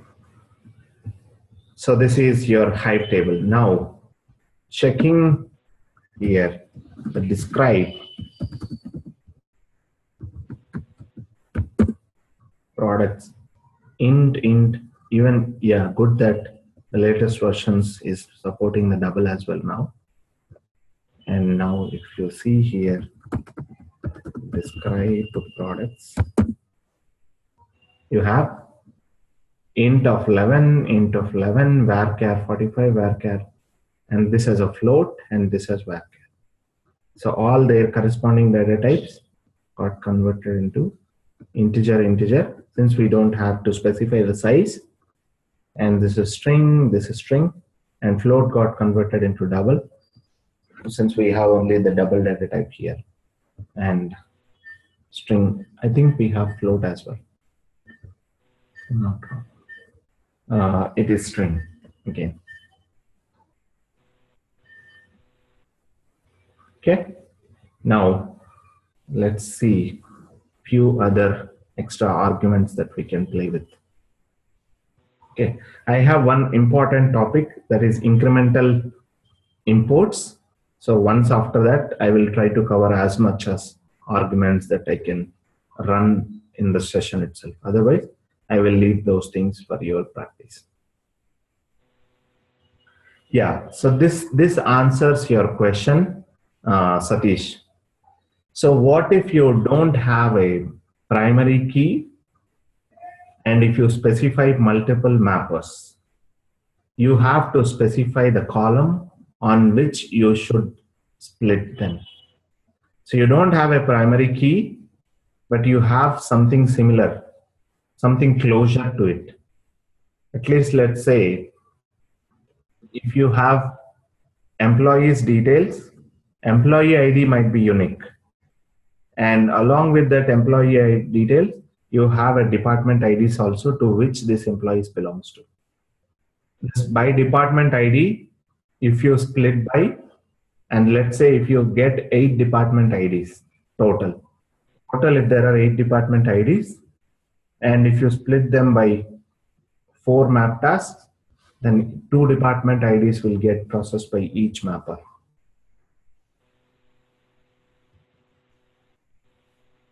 even if that department ID is not unique. For 1000 employees, it, even if you have just eight department IDs, so two two department IDs will get distributed by each mapper. And that way, so when you don't have a primary key, then there is no guarantee that the equal distribution will happen between your map tasks one map task may transfer 5000 records and another map task may transfer just 1000 records. Because you don't have a, a key that can specify the equal distribution of the records okay now performing an incremental import of new data after having already imported the first 1 lakh records. Okay, so if you use hyphen hyphen append, anyway, let me. Um, let me take a separate slide for this. I have uh, examples, dedicated examples for that, I think. Uh, there is one more import all tables argument. So this command, if given a table name, uh, database name, in this database, how many other tables are there? All those tables can be imported at a time using import all tables onto your Hive or onto your HDFS.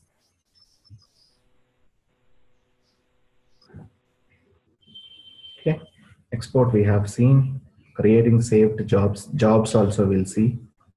Sqoop evaluate, we have already executed this. Okay,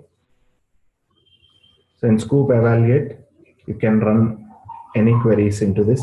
Even I'm running this query into insert into your MySQL table directly from your Sqoop. Any records insertion into MySQL table. Okay, and before going to Sqoop job,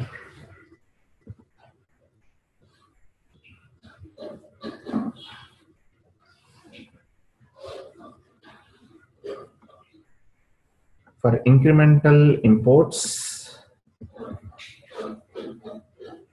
yeah, import hyphen hyphen incremental.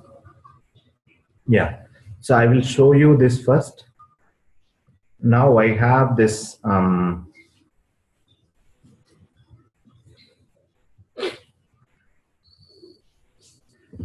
uh, I have copied all the 1345 records onto products directory on the HDFS, right?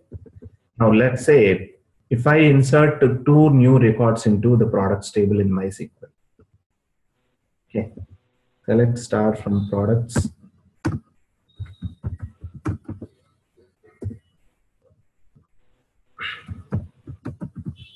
Insert into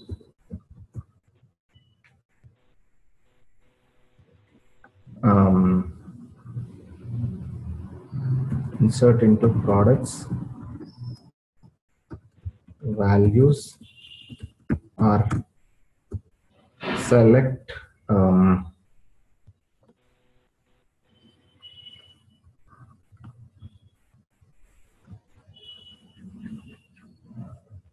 okay I can't use this select let me use this values. 1346 and followed by category ID, some 30, some product name, Colgate, and product description.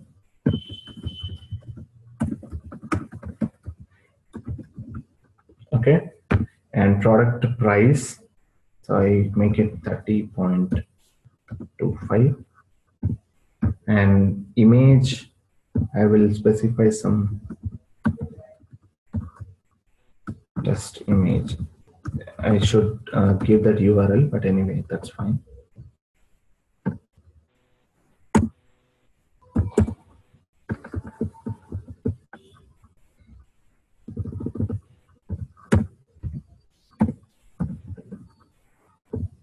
Category same. Pepsodent.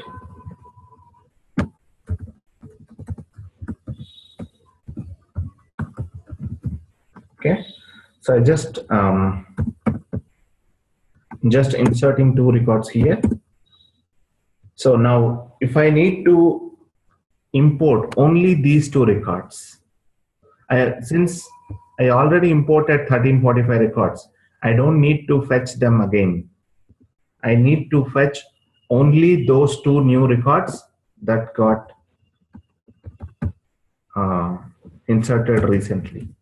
Now I can do that by incremental imports. This is one of the important uh, topic that even you might get this in your interviews. Okay, hyphen hyphen table, hyphen hyphen target dir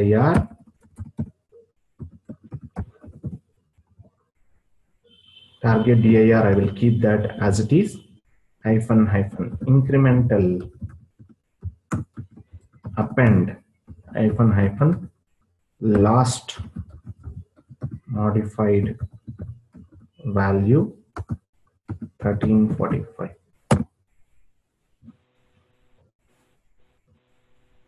last modified value is 1345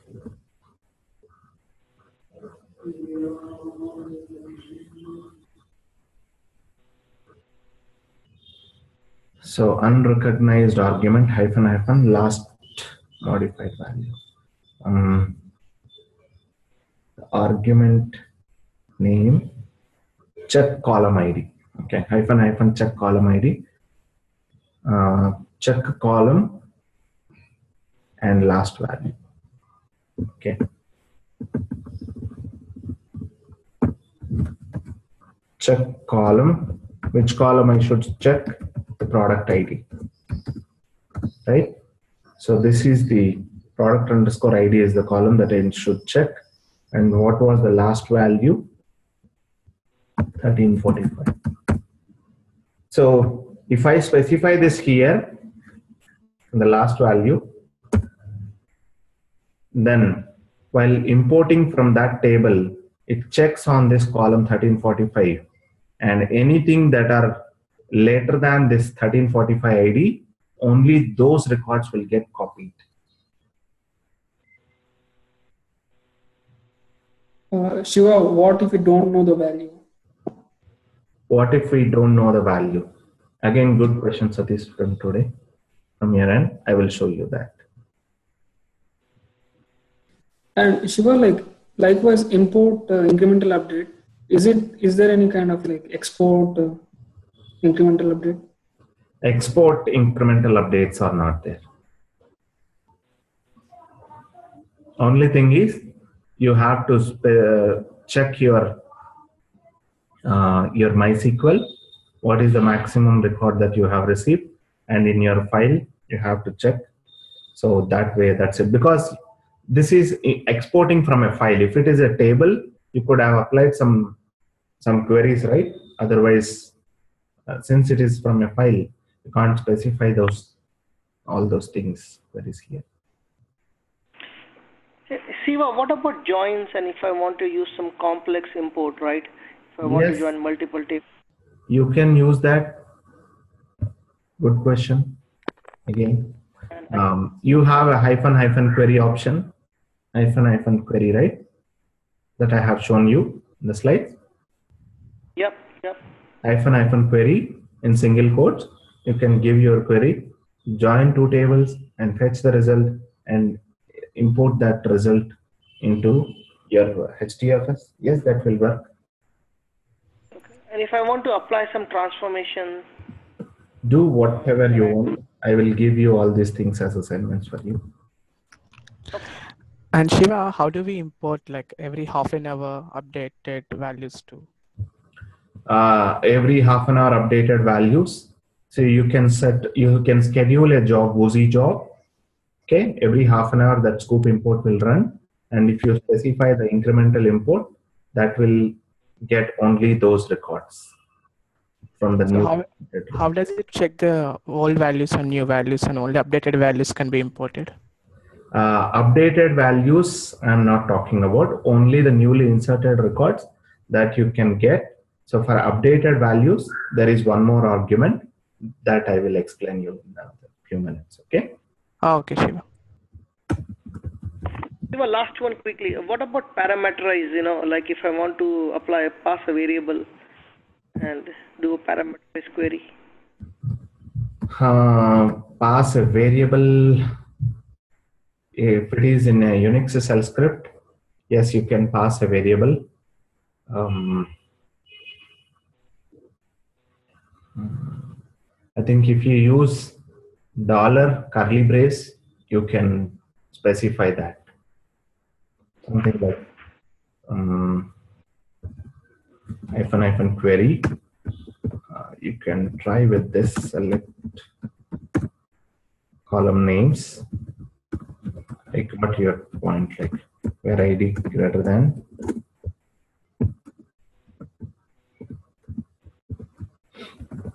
something like id value. Okay, you try with this. Okay, perfect. Okay, so sqoop import uh, with freeform query using joins on two tables. Okay, and incremental imports with sqoop jobs. Anyway, I will show you this, but still I want you to practice that because that is one another important topic. Um, and then uh, sqoop import um, using hyphen hyphen direct and multiple uh, mappers and what else? Um, um, when there is no key when there is is no primary key and there is no primary key usage of split by. Okay. So and store results into parquet file. Okay. This is very very good exercise.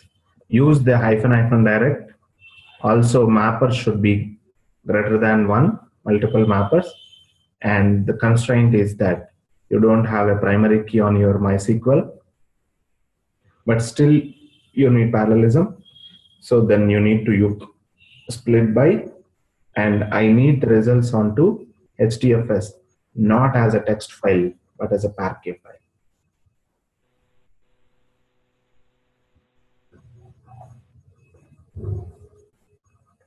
And in this, I didn't show any of these arguments running on the shell, but still I want you to do it. Okay. Our slides have examples for them, so you can run them. That's not a big deal. For Parquet, it's hyphen hyphen as Parquet file. That's it.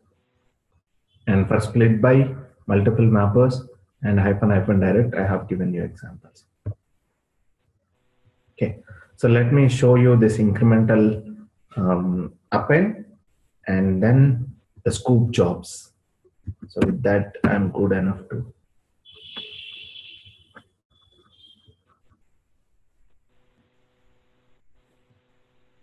So using font partition. See, if you see here, it retrieved only two records. Okay it retrieved only two records instead of all 1347 records. And this answers, uh, someone asked me, yeah, Satish asked me, right? So that's why I, I kept this aside for some time. So this query itself will answer, uh, these messages answer your question, Satish. Incremental import complete. To run another incremental import of all data following this import, supply the following arguments hyphen hyphen incremental import check column product id last value as 1347 but either you can use this way if you don't know or consider saving this with sqoop job hyphen hyphen create if you save this if i need to uh, increment once again uh, if i need to load once again I should give the last value as 1347 as it suggested me. But every time I need to keep track of this count. So if I don't want to keep track of that on my own, and if I want that to be tracked by Sqoop itself, then I can create a Sqoop job. Okay. So before creation of Sqoop job, first let's verify the outcome, output of the previous import. Cloudera, a sqoop, products into the same directory.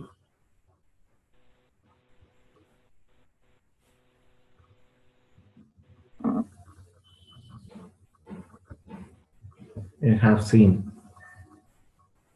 There were um, two um, things like uh, two records were there and by default it is having primary key.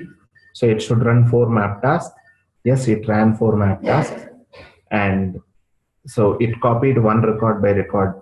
The map task 4 and 5 and 6 and 7 since those are empty files it, it uses the lazy output format.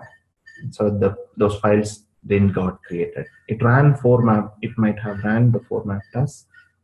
Or you can specify here. Oh no it ran only uh, two input splits because it uh, have identified this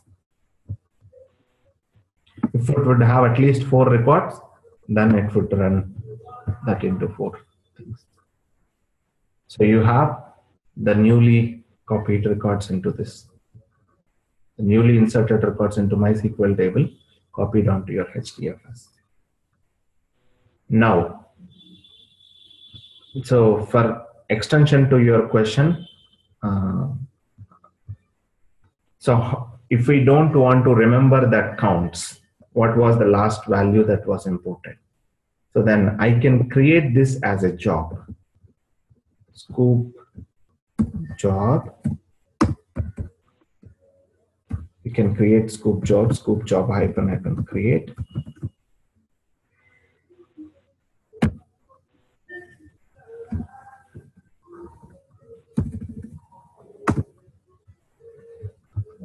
Uh, let me check the syntax once again.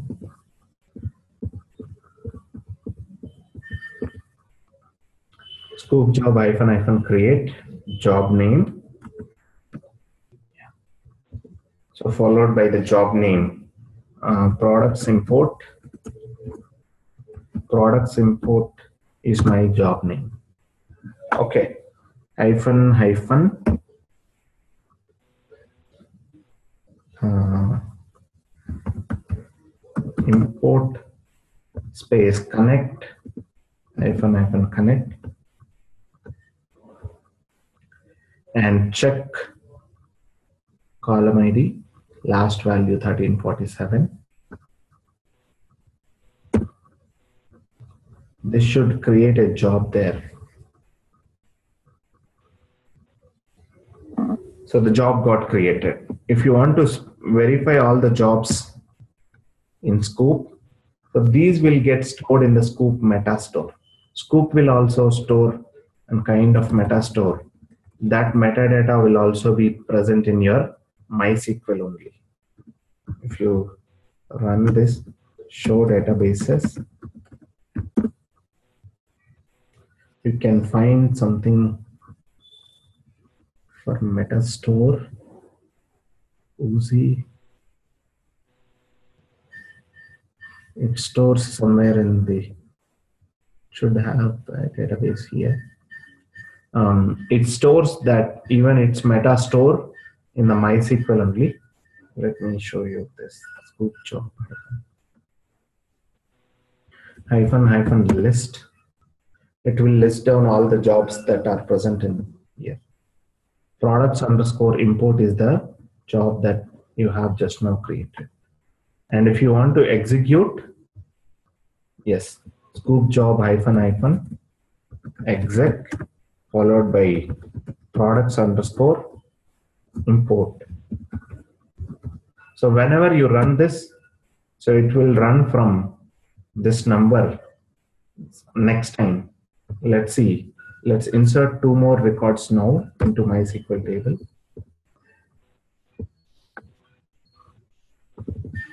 1348 okay so let me keep all those things as it is. 1349 okay so it inserted two more records.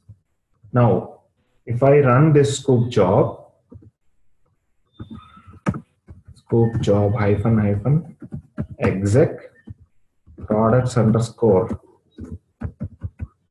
import. It prompts you to enter the password, the uh, job.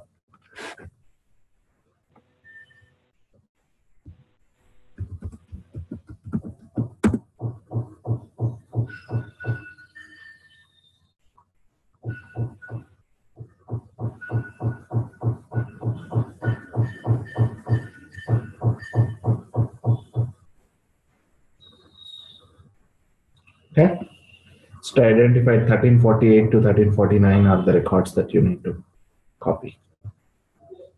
Now, anyway, even then, you need to remember that count to create that job, right? So once you create the job, you no longer need to remember that number. Okay, so that I will show you. So in my job at the time of job creation, I specified 1347. But once after this import gets completed, I will insert two more records and then I will run the same job once again. Then we will see whether it copies the four records or just the two records, the latest two records.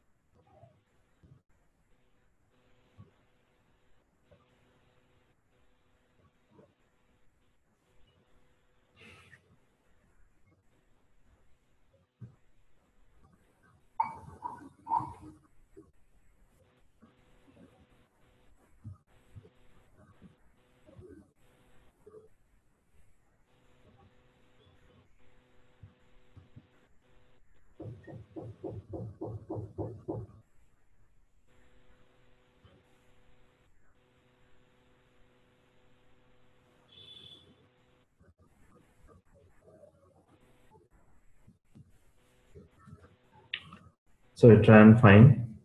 So it retrieved two records. Okay.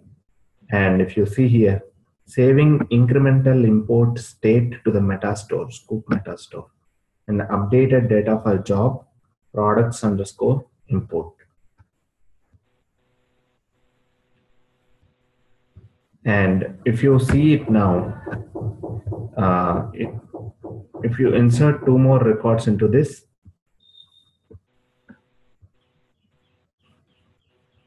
let's see. 1350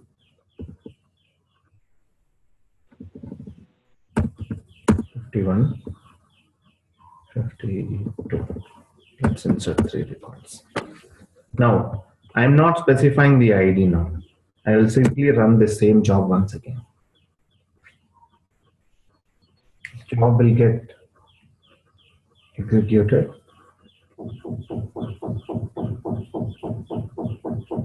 once again.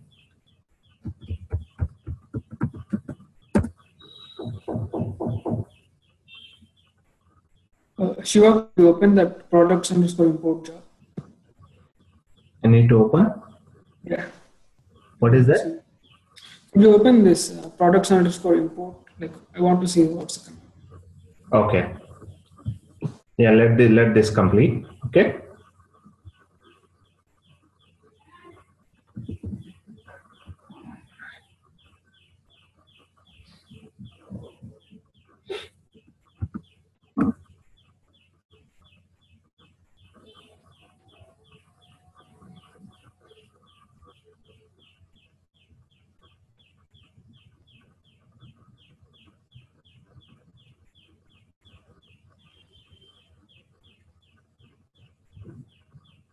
Can see it took that range from 1350 to 1352. Okay, by default, that state got updated, and that state uh, will get updated with the metastore.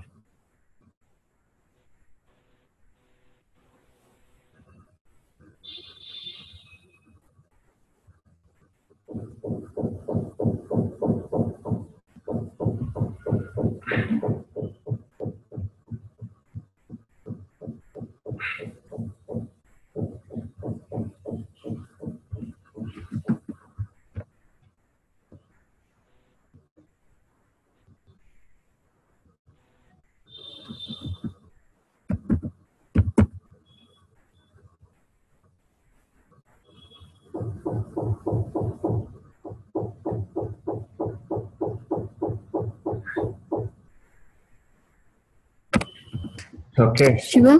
Sqoop job. Yes, Satish. One second. Okay.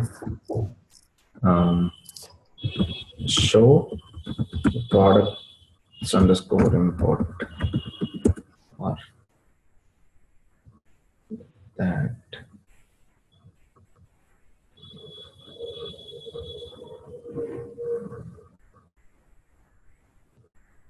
That show option is there or not?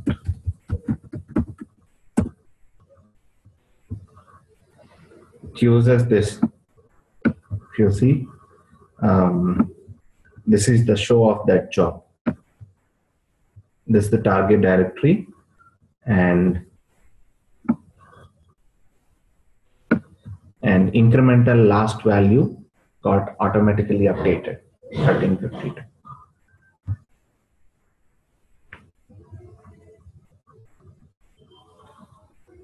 Okay.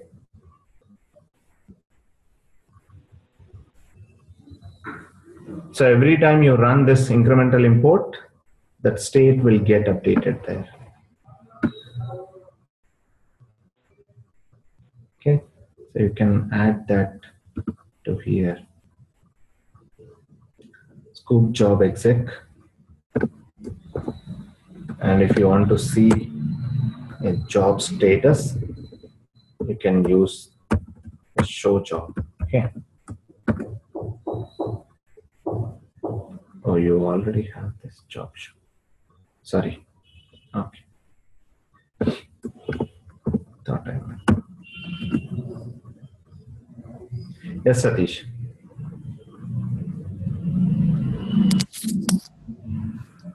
It's not Satish, it's me, Shiva. Oh, yeah, Akila.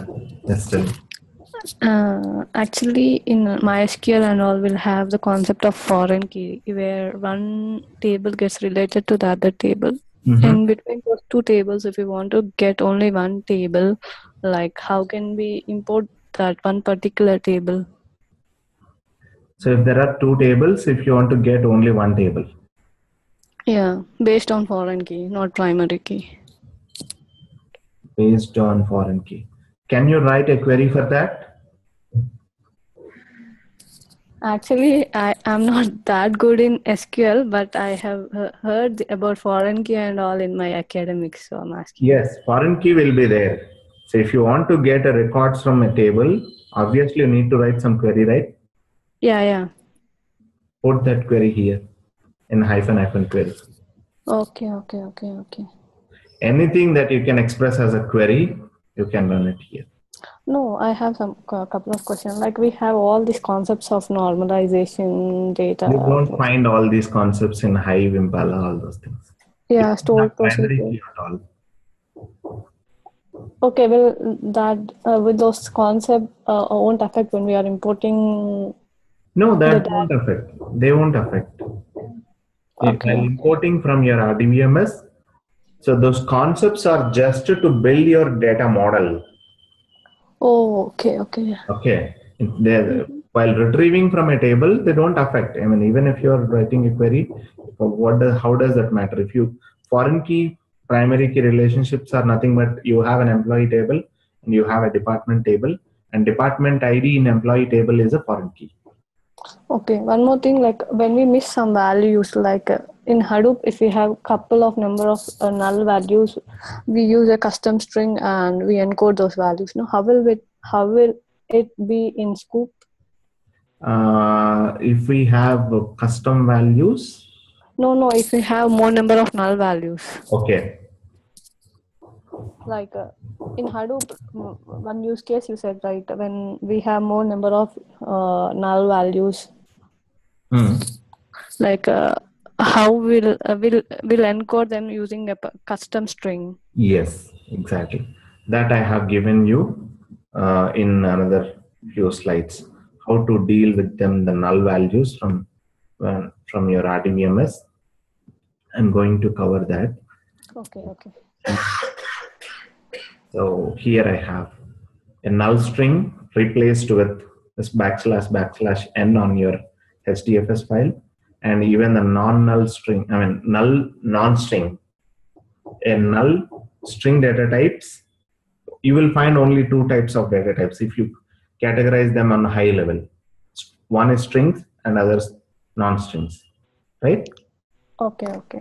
Like uh, in in the before when we we were when you were running, we got one exception that null Yep, null value. null values. Yes. Yeah, yeah. Uh, the, in that use case, can we can we use this? No, if you use this, only thing, if you have in your source MySQL database, all those nulls, you will get them. Yeah, actually, I thought I will explain you this in detail.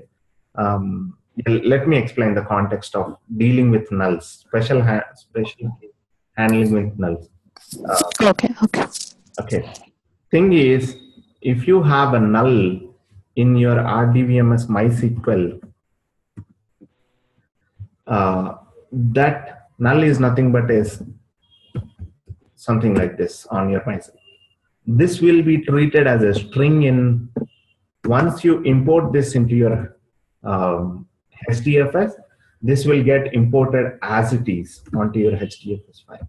You will see this as a null as a string. Getting my point? Mm-hmm. So Yeah. in MySQL, null means it has a special meaning. In, Yeah, yeah. You import into HDFS, null means it's a- just a four characters N U L L, which is nothing but a string. It gets treated as a string, but actually your intention is to treat it as a null. But in Hive or Impala, if you have a backslash n, backslash double backslash n, then that is treated as a null value. Mm-hmm. Yeah. So that means whenever you find any null value for any string data types or any non-string data types, replace all those nulls with backslash n once you import into HDFS file. Then if you use that file in your Hive table, then even in Hive table, you get them as nulls only. Otherwise, they will become strings. Yeah, yeah. Okay, okay. Got it. Thank you, Shiva. Okay.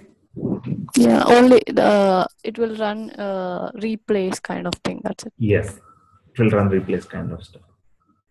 Okay, now let me come back to the previous the slides, earlier slides. Yeah, so this is uh, sqoop job um, purpose. So you can create a sqoop job. It could be either import command or export command. You can write it once, and whenever you need to run it, you can run it just sqoop job hyphen hyphen exec space job name. You don't need to uh, keep that command every time and run it. Okay. And if you want to list all the jobs, you, you have hyphen hyphen list. If you want to delete a job from the sqoop jobs list, you can use hyphen hyphen delete. And if you want to inspect, hyphen hyphen show, just we have seen. Okay. And this is the additional advanced command arguments that I have given here.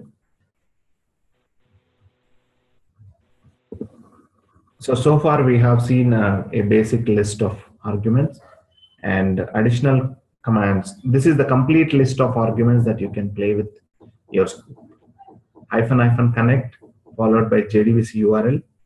So based on your RDBMS type, we'll frame this JDBC connection string. And other than MySQL, let's say, um, and this is not mandatory always. So sometimes, sometimes if they are not working, you can try giving this parameter as well. Sometimes you are getting any exceptions connecting to your RDBMS, then you can give this, specify the connection manager class, class name. So this, this class name and hyphen hyphen driver class. Even this is not mandatory. This is also optional. By default, it should get picked up. Okay. So in case, in case if it is not getting picked up, you can manually specify this. If it is MySQL, so mysql.jdbc.driver. If it is Oracle, hyphen hyphen driver oracle.jdbc.oracle driver. Similarly, the class names, the driver class names. And username and password. So, so far we have seen hyphen hyphen password.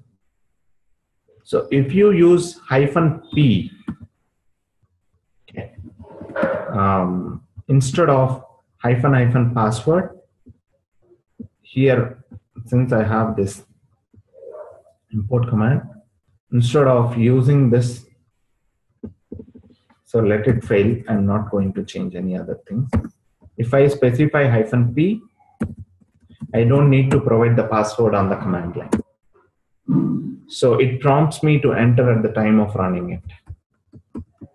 So I don't reveal this password on the command line itself. Okay.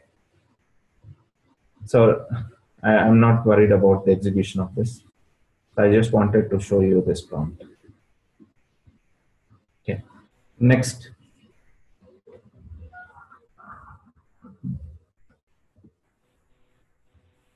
So even these two options, either providing hyphen hyphen password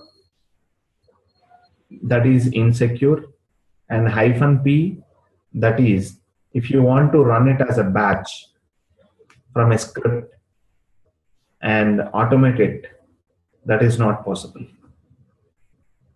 So then the option and the most secured option is that create a file, HDFS file, and inside that HDFS file, store, store your password. Okay, store your password and make the file permissions to that file as 400 400 means only the owner can, with whatever the owner, with whatever the user that file got created, that user can read that file and not any others can read that file. This is this is a traditional approach only, not something new in in Hadoop. Uh, we store that file. We we store that password in a file, and uh, we make that file permissions as 400. So no others can see or read the contents of that file except that sqoop user. With that sqoop user, will create that file. And we will provide that file using hyphen hyphen password hyphen file. Shiva? Yes, sir.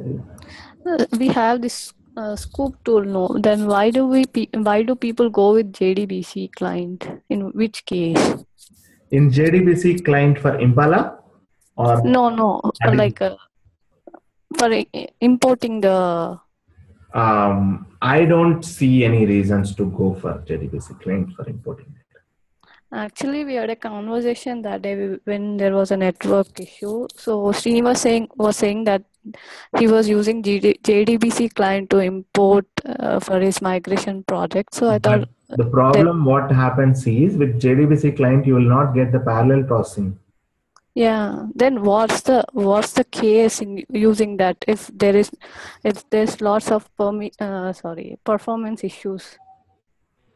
Of course, there are lots of performance issues if you use JDBC client and if your source table is having some, let's say, 100 million records. It might take one hour, two hours, three hours. If you use Sqoop tool on the edge node, you will be able to copy that in just five to 10 minutes, less than five minutes. Okay. Uh, I'm asking why people are going for JDBC then. Might be they might not aware of this or they might have faced some uh, setting up setup issues Mm-hmm.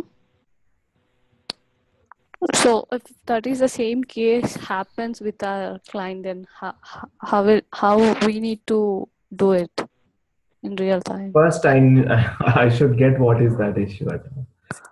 No, actually. Okay, see. it was saying, So I got Yeah, I mean, I, I I mean, I, I I know that someone followed that option, that approach, and why he is following that approach is your question. First question. Yeah, yeah. First thing, I'm not aware of what the actual issue he faced with Sqoop.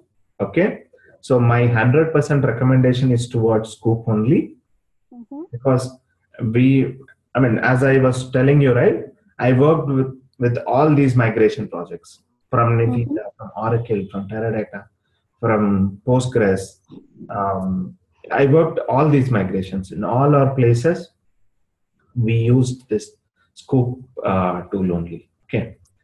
Okay. Uh, I don't see any reason uh, that you need to write any JDBC clients directly.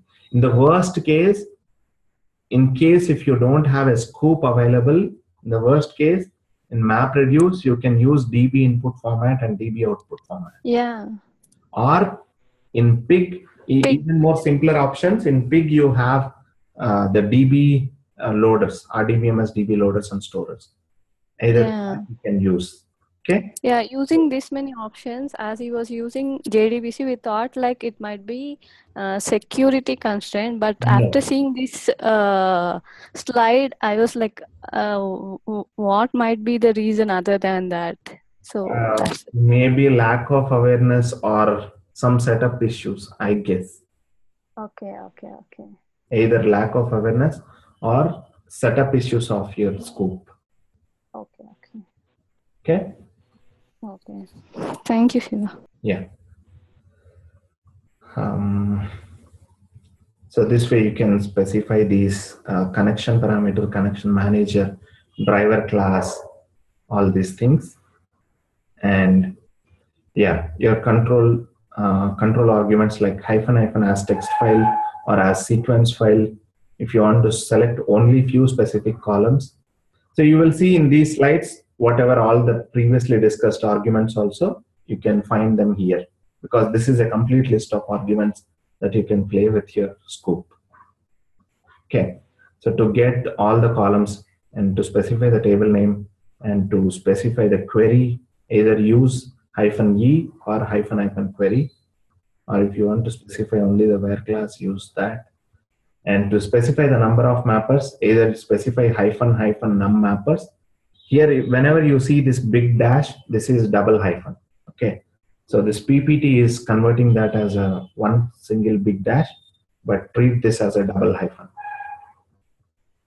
And the basic funda is that when there is only one character, then prefixing that you will find only one hyphen. If there is a word, if there is a multiple characters, there is a string, then you will find double hyphen before that. If you observe that pattern there is only one single character, then you will find one hyphen, otherwise double hyphen. If double hyphen is to append to an existing HDFS data, and you can even specify the compression as well. Some record having price as zero. So in Hadoop uh, processing, we use custom string constants to encode missing values Yeah, you have answered that question. Oh, okay, okay. Okay, yeah, this is using hyphen Z or hyphen hyphen compress. You can enable the compression technique and you can even specify the compression codec also. There might be some other argument to specify that. And split by column and delete target directory. Yeah, I mean, these are self-explanatory. Okay. I don't need to spend much time on these things. Go through these things and null values, handling null values that. Incremental imports, yes. Incremental, the incremental types, you have two types. Out of them, one we have already tested there. Hyphen hyphen incremental space append. It is to get the new records and check on what column and what was the last value. And if you specify this in a job, you don't even remember, you don't even need to remember this last value every time. And the second type is you didn't add any new records, but the existing records itself got changed. So existing records self, itself got updated. So that time you should have a one extra column related to date and timestamps and based on timestamp we can get the updated records only based on the date and timestamp columns. If you have a uh, timestamp column in the pro- products table, and in the within that same existing 1345 records, change some 10 records and the and update the timestamp and you will specify incremental space last modified and check column specify that column that corresponds to the timestamp data type and specify that last value till what time you received last time let's say till um, 9th july you retrieved records last time now you need to receive the records that got updated on 10th July. So then if you specify the 9th July date and timestamp value here, so any, any values other higher than that column will get retrieved. It is same as your append only. There in the append, you specify the primary key column. Here in the modified, in the last modified, you will specify the date time column and last value there. That's it. Okay, so you can you can try with that. I will write that into um, incremental import with last modified as another assignment. Okay, just give me five five more minutes. I will try to quickly wrap up. And Hive importing, yeah. So hyphen hyphen Hive import, it directly copies that into Hive importing. Um, hyphen map column Hive, override mapping for specific column to Hive types, and which Hive table you want to load it into. You can specify the table name also Hive and database name also you can specify them there and partition value or partition key also you can specify if it is a partition table. Okay. Now so that there is one important um,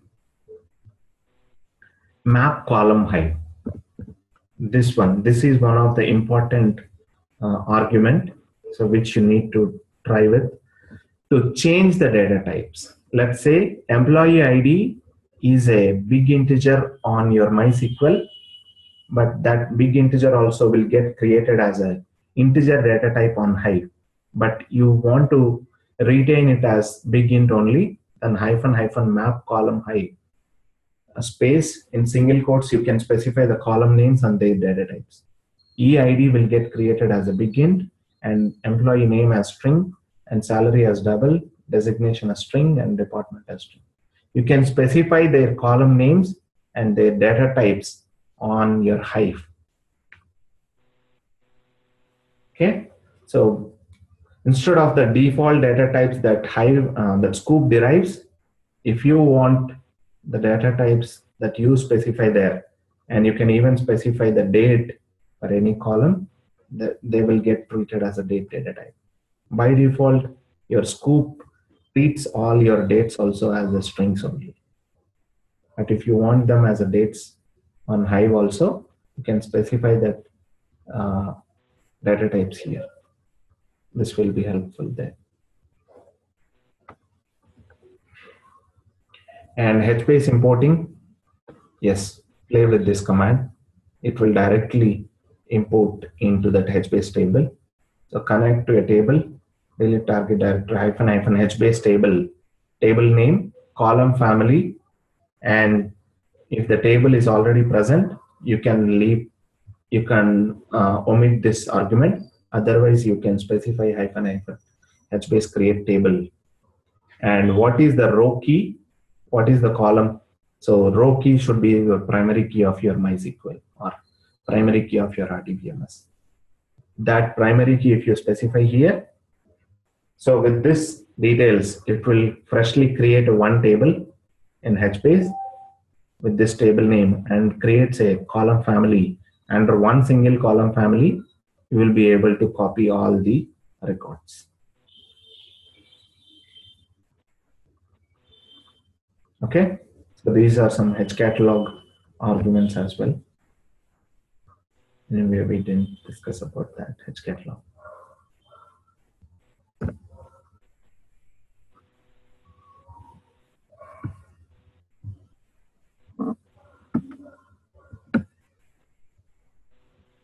So with that, I quickly wrapped it up, the Sqoop session. So to give you a quick recap, it talked about import and uh, some of its important arguments and export, import into Hive, we have run, import into HBase, I have shown, I have shown you the command and creation of jobs, Sqoop jobs and listing them, executing them and inspecting them. And then incremental imports, append we have executed and last modified I have explained and that you can test them. Okay. And while exporting, we talked about the staging tables also.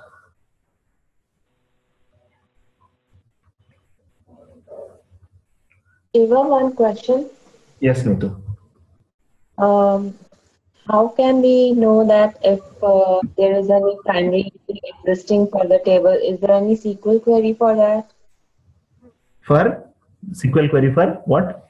Uh, to identify what is the primary key assigned in the table. Yeah, by looking at your source table, you will get it, right? I mean, just describe on your MySQL or your RDBMS, you'll find that.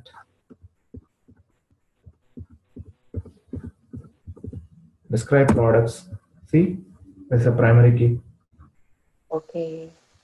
And uh, can we also drop the primary uh, primary key From this table, from any table like uh, dropping the primary key. No, you can't drop the primary key. I think no? you can set some constraints. Uh, maybe you can uh, you you can find it out. I think you can do. Narendra can answer this question. I'm throwing ball on Narendra. Okay.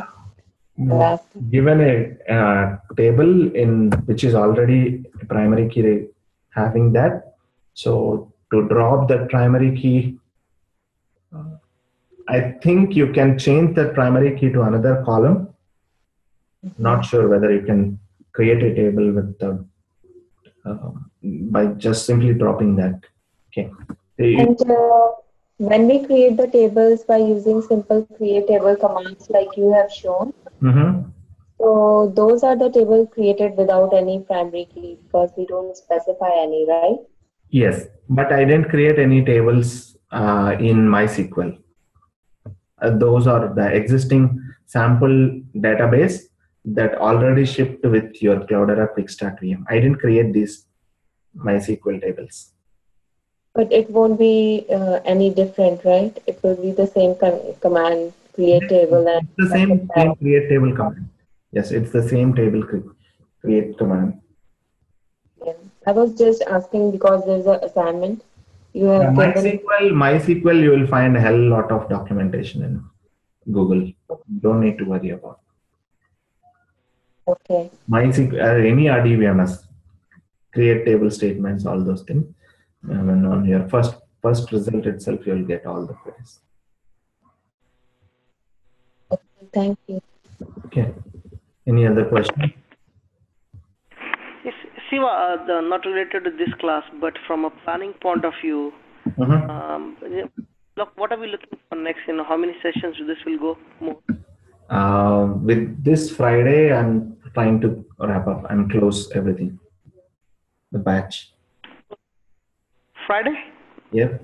Uh, this tomorrow we'll take up Flume, and day after tomorrow we'll take up Oozie, and after that some real-time tools, Cloudera Hue and the Cloudera Manager, and some real-time tools that we use, and then the project discussions. That's it.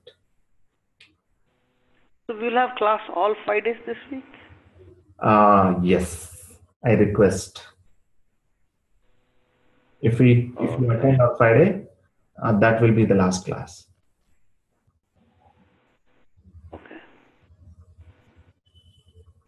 So tomorrow, Flume, Okay. and Wednesday Oozie, and Thursday some real-time tools, and Friday project discussions. Oh, so so this will be through Thursday our time. Okay, okay. Yeah, through Thursday your time. One more extra day. Okay. One more extra day. That's it.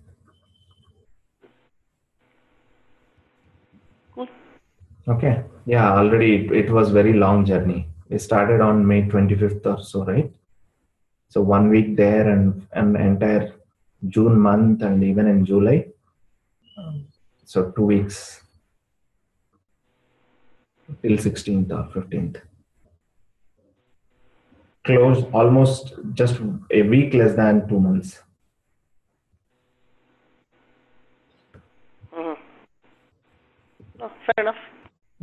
Okay. But but Shiva, one one thing, uh, uh, if you can probably have a, a little bit more um, case study, you know, uh, because we have covered so much. Probably one class per case.